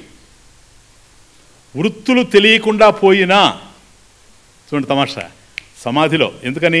ధ్యానం లేదు గనక ధ్యాత కూడా లేడు గనక ధ్యేయమే ఏకైక గోచరంగా ఉంది గనక అక్కడ ఏ వృత్తులు లేవు అని అనుకుంటూ ఉండినా అజ్ఞాత అపి అంటే ఆ వృత్తులు ఉన్నట్టుగా నీకు తెలియకపోవచ్చు కానీ ఆత్మగోచరాహ అక్కడ ఏ అఖండాకార వృత్తి ఉందో దానికి విషయం ఏంటో తెలుసా? ఆత్మ. ది ఆబ్జెక్ట్ ఆఫ్ అఖండాకార వృత్తి ఈజ్ బ్రహ్మన్ సంవిత్ ఆత్మ. ఆ స్వరూపాన్ని అది కలిగి ఉంది అసలు. ఆ స్వరూపాన్ని కలిగి ఉంది డౌట్ వస్తుంది కదా? చెప్తాను స్వామీజీ మరి అక్కడ అది ఉందని ఎట్లా తెలుస్తా ఉంది? స్మరణాదనుమీయంతే సముత్తి సముత్తితాత్. Clear third and fourth line ఉత్తితస్య ఉత్తితస్య ఈ పదం ఎక్కడన్నా వచ్చిందే? సుషుప్తి దగ్గర వచ్చింది. సుప్తవు ఉత్తితస్య అంటే గాఢ నిద్ర నుండి లేచిన వాడికి. ఇక్కడ ఉత్తితస్య దేని నుండి? సమాధి నుండి లేస్తాడు చూచారా? సమాధిలో ఉన్నప్పుడు ఏక విషయమే గోచరంగా ఉంది. ధ్యాయేక గోచరం. ఉత్తితస్య తస్య స్మరణాత్ అనుమీయంతే. అది ఇక్కడ తెలుస్తూ ఉంది. ఏమని? వాడు సమాధిలో ఒకవేళ ధ్యానం చేసి చూడండి ధ్యానంలో ధ్యానంలో ఎప్పుడైతే ధ్యాత నేను లేనని ధ్యానం చేయడం లేదని కేవలం ధ్యేయక గోచరమైన విషయం ఉందో అలా ఉందని తెలుసుకోవడానికి రెండవది లేదు. కానీ అది ఉంది. అది ఉందని నీకు ఎట్లా తెలుస్తూ ఉంది? అని అన్నప్పుడు ధ్యానం నుంచి అది అయిపోయి సమాధి నుంచి బయటకు వస్తాం కదా ఇప్పుడు. ఇప్పుడు ఒక అరగంట చేసాడు అనుకోండి వాడు వస్తాడు కదా. వచ్చినప్పుడు he will look at the clock. అటు గడియారం వైపు చూస్తాడు. ఓ సెవెన్ ఓ క్లాక్ కూర్చున్నాను నేను. ఎయిట్ వరకు అయింది. ఈ వన్ అవర్ నాకేమీ తెలియదు. అహం కిమ్మపి నా జానామి. అట్లనే నేను నిద్రపోలేదు. ఆనందంగా ఉన్నాను. ఆనందాన్ని అనుభవించాను. సో ఏం ఆనందం అది అఖండ బ్రహ్మాకార వృత్తి అఖండానందం ఏదైతే ఉందో అది స్మరణాత్ ఉత్తితస్య ఇప్పుడు సమాధి నుంచి లేచిన తర్వాత వాడికి స్మరణ స్మృతి అందతా ఉంది. అండర్స్టాండ్ ది పాయింట్ స్మరణాత్ స్మృతి అనుమీయంతే అనుమాన ప్రమాణం. అనుమీయంతే ఊహిస్తూ ఉండాడు. ఎంత అద్భుతమో చూడండి. కారణం ఏంటంటే యద్యత్ స్మరణం. యద్యత్ స్మరణం తత్తత్ పూర్వానుభవం. ఏదైనా మీకు స్మృతికి వచ్చింది జ్ఞాపకానికి వచ్చిందంటే ఏది జ్ఞాపకానికి వస్తుంది అనుభవించిందే జ్ఞాపకానికి వస్తుంది ఇప్పుడు స్మరణాత్ ఉత్తితస్య స్మరణాత్. ఎప్పుడైతే వాడు సమాధి నుంచి బయటకు వచ్చాడో ఉత్తితస్య స్మరణాత్ స్మృతి కలుగుతా ఉంది.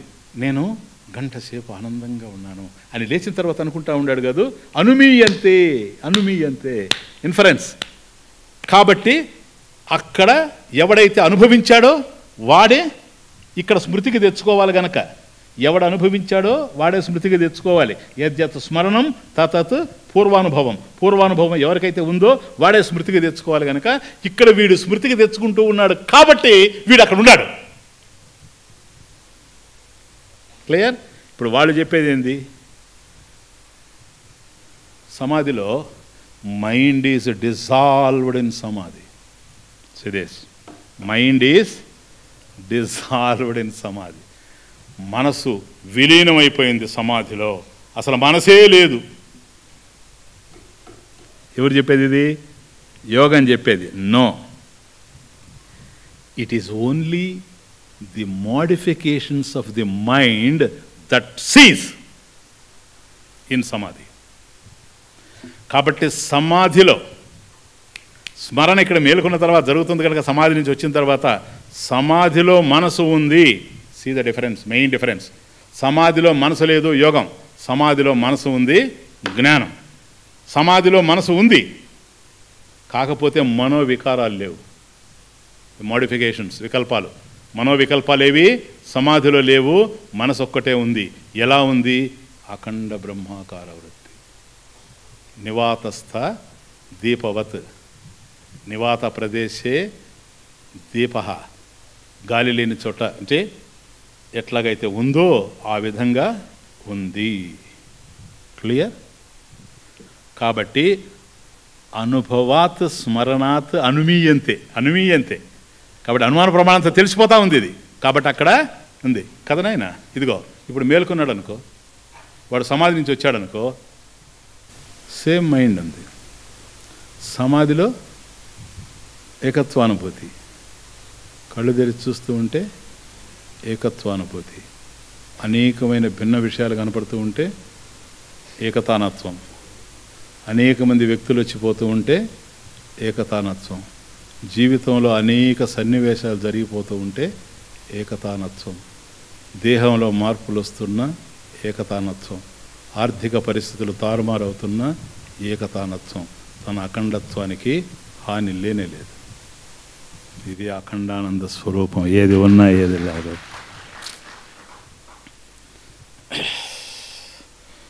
వృత్తీనామనువృత్తిస్తూ ప్రయత్ ప్రయత్నాత్ ప్రథమాదపి అదృష్టా సకృదభ్యాస సంస్కార సచివాద్ భవేత్ ఇదిగో కాబట్టి లోపల ఒకవేళ వృత్తులు కలిసినా ఏది సమాధిలో? జ్ఞాన సమాధి గనక ఒకవేళ వృత్తులు వృత్తయ వృత్తులు గనక కదిలితే కూడాను ఒకవేళ వృత్తి వచ్చింది ఏ వృత్తి వస్తుంది?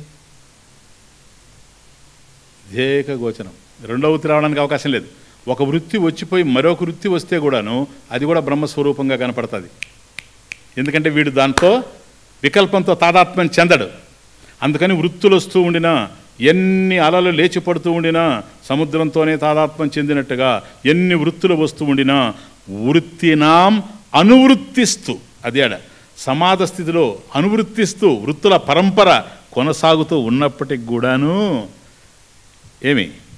ఇది ఏ ఏకతానత్వం ఏదైతే ఉందో అఖండ బ్రహ్మాకార వృత్తిని మనం తెలుసుకున్నామో ఇది కొనసాగుతూనే ఉంటుంది. ఎందుకు కొనసాగుతా స్వామీజీ? అదిగో ప్రారంభంలో కష్టంగా ఉండొచ్చు అంటాడు. ఏ వృత్తి వచ్చినా ఒకవేళ వృత్తి వచ్చిందనుకోండి బికాస్ మైండ్ ఇస్ దేర్ అది పాయింట్ మనసు ఉందనుకున్నాం కదా మనం జ్ఞాన సమాధిలో. మనసు ఉంది కనుక వృత్తి కదలచ్చు. వృత్తి కదిలిందనుకోండి ఆకలిగా ఉంది ఉప్మా తింటే బాగుండని.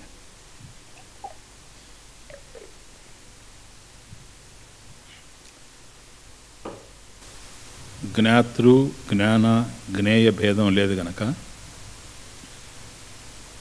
ఉప్మా బ్రహ్మమే.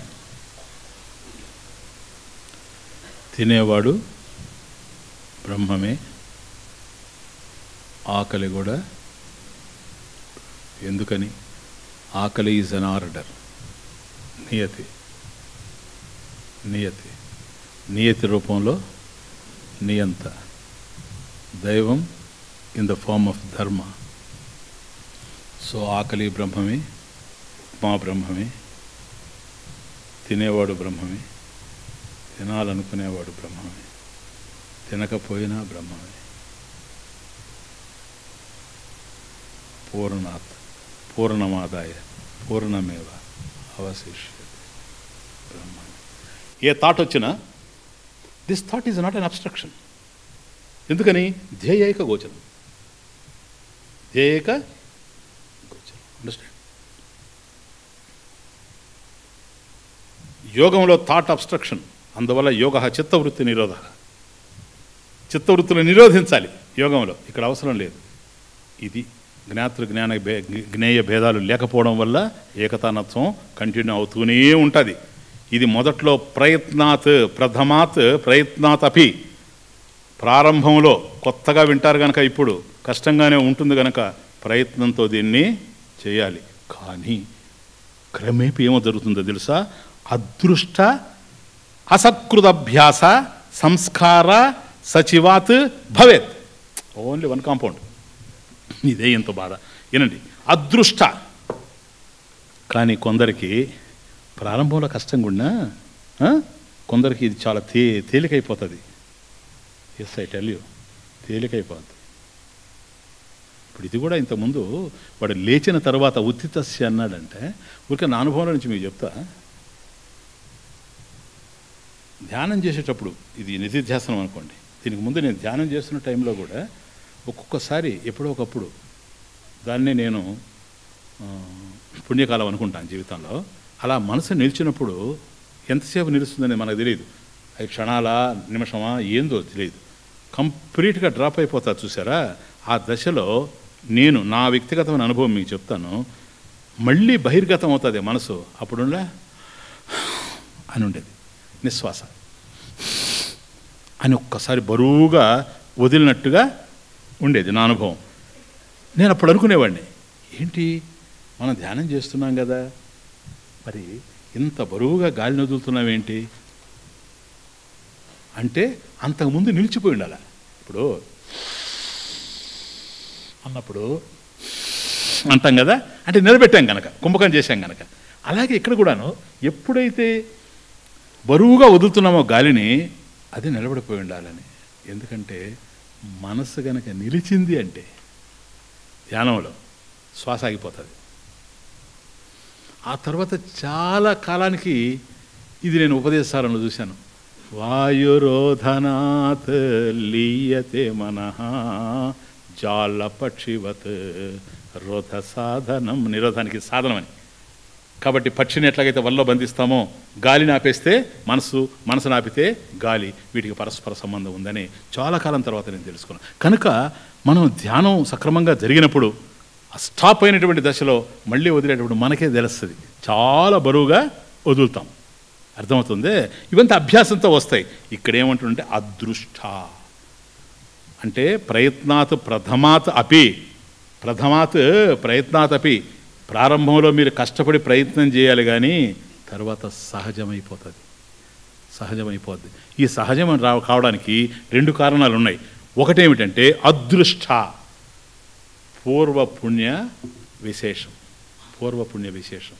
గతంలో మనం ఏ పుణ్యం చేసుకొని ఉంటామో ఆ ఫల విశేషం చేత ఇప్పుడు ధ్యానంలోకి వెళ్ళినప్పుడు ఇంత ఏకతానత్వం ఆ అఖండ బ్రాహ్మీ స్థితిలోకి పోవాలని ప్రయత్నం చేసేటప్పుడు ఆ పుణ్యం తోడ్పడి అక్కడ ఏ విధమైన చలనం లేకుండా గాలి లేని చోట దీపంలాగా ఆ వృత్తినట్లా అఖండాకార బ్రహ్మ ఆ వృత్తిని బ్రహ్మాకార వృత్తిని ఆపుతుంది. ఇది పుణ్యం. అదృష్టం అంటే పుణ్యం. రెండోది అదృష్ట అని దీర్ఘం. అదృష్ట అసకృత్ అభ్యాస సంస్కార సచివాత్. అసకృత్ అదృష్ట అసకృత్. అసకృత్ అంటే మళ్ళీ మళ్ళీ పునః పునః. అభ్యాస మళ్ళీ మళ్ళీ అభ్యాసం చేయడం. అంటే కాన్స్టెంట్ ప్రాక్టీస్. Constant practice. దానివల్ల ఏర్పడే సంస్కారం ఏదైతే ఉందో అసకృత్ అభ్యాస సంస్కార పునః పునః అభ్యాస సంస్కార. దాని నుంచి కలిగినటువంటి సంస్కారము సచివాత్ కూడింది భవేత్ అయిపోతుంది. ఇప్పుడు ఏమిటంటే ఒకటి పూర్వం మనం చేసుకున్నటువంటి పుణ్యఫల విశేషం ఏదన్నా ఉంటే దానివల్ల ఈ అఖండాకార బ్రహ్మి బ్రాహ్మీ స్థితి వచ్చినప్పుడు ఆ స్థిరంగా నిలిచేటువంటి భావన ఆ పుణ్యఫల విశేషం యొక్క దాని ప్రభావం చేత కలుగుతుంది. రెండవది ఏంటంటే అట్లా కాని వాళ్ళకి అంత పుణ్యం లేని వాళ్ళు పదే పదే పరమేశ్వరుని హృదయంలో నిలబడుకొని దీన్ని మనం ప్రయత్నం చేస్తూ పోతూ ఉంటే ఒక దశలో అసకృత్ పునః పునః అభ్యాస ప్రాక్టీస్ చేయడం వల్ల సంస్కార ఏర్పడేటువంటి సంస్కారం ఏదైతే ఉందో ఆ సంస్కారంతో కూడినప్పుడు భవేత్ ఆ యొక్క స్థితి గాలి లేని చోట దీపం ఉండేటువంటి స్థితి ఏదైతే ఉందో భవేత్ అది మనకు కలుగుతూ ఉంది. అండర్స్టాండ్ క్లియర్ అందుకని వీటికి కూడా పుణ్యఫల విశేషం ఉండాలి. సో తస్య యోగిన సమాహితం యశ్చిత్తం. తస్య ఉపమా ఉచ్యతే. దీనికి ఒక ఉపమానం చెప్తున్నాడు. అంతే కంక్లూడ్ చేస్తున్నా. ప్లీజ్ యథా దీపో నివాతస్థ ఇత్యాధిభిరనే కథ భగవానిమమే వార్ధం అర్జునాయన్రూపయత్. అది. చివరికి అసలు ఇప్పుడు నడిచిందంతా గీతే. ఆత్మ సంయమ యోగమే నడిచిందంతా. ఇప్పుడు నడిచిందంతా అదే నాయన. నేను ఆ మాట చెప్పకుండా ఇక్కడికి వస్తే చెప్దామని ఊరుకున్నా నాకు తెలిసి ఇక్కడికి వస్తానని. నాకు ఎందుకు తెలియదు ఇది. ఒక్కటే. ఆత్మ సంస్థం మనః కృత్వ. సిక్స్త్ చాప్టర్ ఆత్మ సంయమ యోగం ధ్యాన యోగం. ఆత్మ సంస్థం మనః మనః ఆత్మ సంస్థం కృత్వా. న కించిదపి చింతయేత్. కృష్ణ. అదే గీతలో ఉండే స్పెషాలిటీ. మనసును ఆత్మయందు స్థిరంగా నిలిపేసి ఎక్కడ? ధ్యేయైక గోచరం. నిలిపిన తరువాత ఇక ధ్యాత లేడు ధ్యానము లేదు గనక నకించిదపి చింతయేత్. రెండవ విషయాన్ని ఆలోచించకుండా ఉండడం. ఒకవేళ రెండవ విషయం అయితే వచ్చినా కూడాను వృత్తి ఆ వృత్తి అనువృత్తిగా మారడం. దేనికి? ధ్యేయైక గోచరం. సంవిత్ అని చెప్పాడు చూచారా? అది నివాతస్థ దీప యథా. అది ఉపమీయతే. ఉపమానం చెప్తూ ఉన్నాడు. అనయా ఇది ఉపమా. ఉపమీయతే అనయా ఇది ఉపమ. అంటే ఒకే సామ్యం కలిగినటువంటి రెండు వస్తువుల్ని పోల్చడం ఉపమానము అంటారు కదా. ఇప్పుడు ఏంటి నివాత ప్రదేశం. అంటే వాతం లేనటువంటి ప్రదేశంలో. గాలి లేనటువంటి చోట దీపంలాగా అంటే గాలి లేని చోట దీపం కదలదు. సంకల్పాలు లేనటువంటి చోట. అబ్స్ట్రక్షన్స్ లేని చోట మనసు కూడా సుస్థిరంగా గాలి లేని చోట దీపంలాగా ఉంటుంది. వాతవర్జితే ప్రదేశే స్థిత దీప ఇది. నివాతస్థ వాతవర్జితే ప్రదేశ ప్రదేశే స్థిత దీప. కాబట్టి అందుకనే మనం ఏం చేయాలి? బట్టలు బయట ఆరేయాలి దీపాన్ని ఇంట్లో వెలిగించాలి. అంతేనా? బట్టలు లోపల ఆరవు దీపం బయట వెలగదు. గాలి లేని చోటనే దీపం పెడతాం. అట్లని వాయువే లేకుండా లేదు. కాబట్టి ఏ ఇది లేనటువంటి అంత ఆంతర్యంలో హృదయంలో ధ్యానం చేస్తూ ఉన్నాం. అంటే దాని అర్థం సార్ వాత నివాత అంటే అసలు గాలి లేదని కాదు. గాలి ఉంటేనే దీపం వెలుగుతుంది లోపలైనా.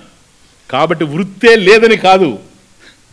యోగం చెప్పినట్టుగా వృత్తి లేదని కాదు. వృత్తి ఉంది అది అఖండాకారంగా బ్రహ్మస్వరూపంగా ఉంది. సీ ద డిఫరెన్స్ ఇది ఇత్యాదిభి ఈ విధమైన విషయాలు అనేకధ. ఒకటి కాదు రెండు కాదు. అనేకధ. అనేక విధాలుగా భగవాన్ మన పుణ్యం ఫలమైనటువంటి శ్రీకృష్ణ భగవాన్. గీతాచార్య. భగవాన్ ఇమమేవ అర్థం. ఇమం అర్థం ఏవ. ఇమం ఏవ అర్థం. చూసుకోండి ఇక్కడ ఇమమేవార్థం అంటే ఇమం అర్థం ఏవ? ఈ అర్థాన్ని గాలి లేని చోట దీపంలాగా ఆంతర్యంలో హృదయంలో ఏకీకృతమైనటువంటి అఖండ బ్రహ్మాకార వృత్తి ఏదైతే ఉందో హే అర్జున! ఈ విధంగా ఇత్తం ఈ విధంగా ఏదైతే ఉందో ఈ అర్థాన్ని ఇప్పటి వరకు ఈ మహానుభావుడు విద్యారణ్య స్వామి ఏదైతే మనకు సమాధిని గురించి బోధిస్తూ ఇక్కడికి తీసుకొచ్చాడో ఇమం ఏవ అర్థం ఈ అర్థాన్ని అర్జునాయ. శిష్యాయ. శిష్యుడైనటువంటి అర్జునుడి కొరకు స్వామి భగవాన్ న్యరూపయత్ న్యరూపయత్ నిరూపించాడు. భగవద్గీతలో నిరూపించాడు న్యరూపయత్. నిరూపించి చూపెట్టాడు. ఇది నాయన అని చెప్పి అక్కడ బోధ చేశాడు. గీతలో ఏదైతే భగవానుడు బోధ చేశాడో అదే ఇది. అంతేగాని కొత్తగా నేను తెచ్చిపెట్టింది ఏమీ లేదు. లోపల దీపంలాగా ఉండిపోవాలి. లేనిది కాదులే. ఇది ధ్యానం. లేనిది కాదులే కొత్తగా రాదులే. ఉన్నదే తెలియాలి.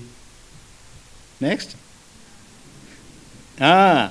జ్ఞానమే దీపమై వెళ్ళగాలి చూసారా? జ్ఞానమే నీ నావా ధన్యము నీ త్రోవా. కన్నీటి కడలిలో మేలైన నావా ధ్యానమే నీ నావా జ్ఞానమే నీ నావా ధన్యము నీ త్రోవ కాబట్టి ఆంతర్యములో నివాత ప్రదేశే స్థిత దీపవత్. స్థిరంగా అఖండ బ్రహ్మాకార వృత్తి ఉండిపోవాలి. ఉండిపోవాలి అంతే ఇంకేం లేదు. యథా దీపో నివాతస్థ నింగతే సోపమావృత ఏది? సేమ్ ఇదే. నా ఇంగతే నింగతే చెలించకుండా ఉండడం. నా చలతి. గాలి లేని చోట దీపం ఎట్లాగైతే చెలించకుండా ఉంటుందో అర్జున ఆ విధంగా అఖండ బ్రహ్మాకార వృత్తి ఏర్పడిపోవాలి నాయన అని ఉపమానం ద్వారా భగవంతుడు ఏదైతే తెలియజేశాడో ఆ ధ్యాన దీపం ఇప్పుడు మనలో వెలిగింది. ఇది ఆరిపోకుండా మనం చూసుకోవాలి. ఆరిపోకుండా చూసుకోవాలి. ॐ पूर्णमदः पौर्णमिदं पूर्णा पूर्णमुदच्यते पूर्णस्य पूर्णमादाय पूर्णमेवावशिष्यते। ॐ शान्ति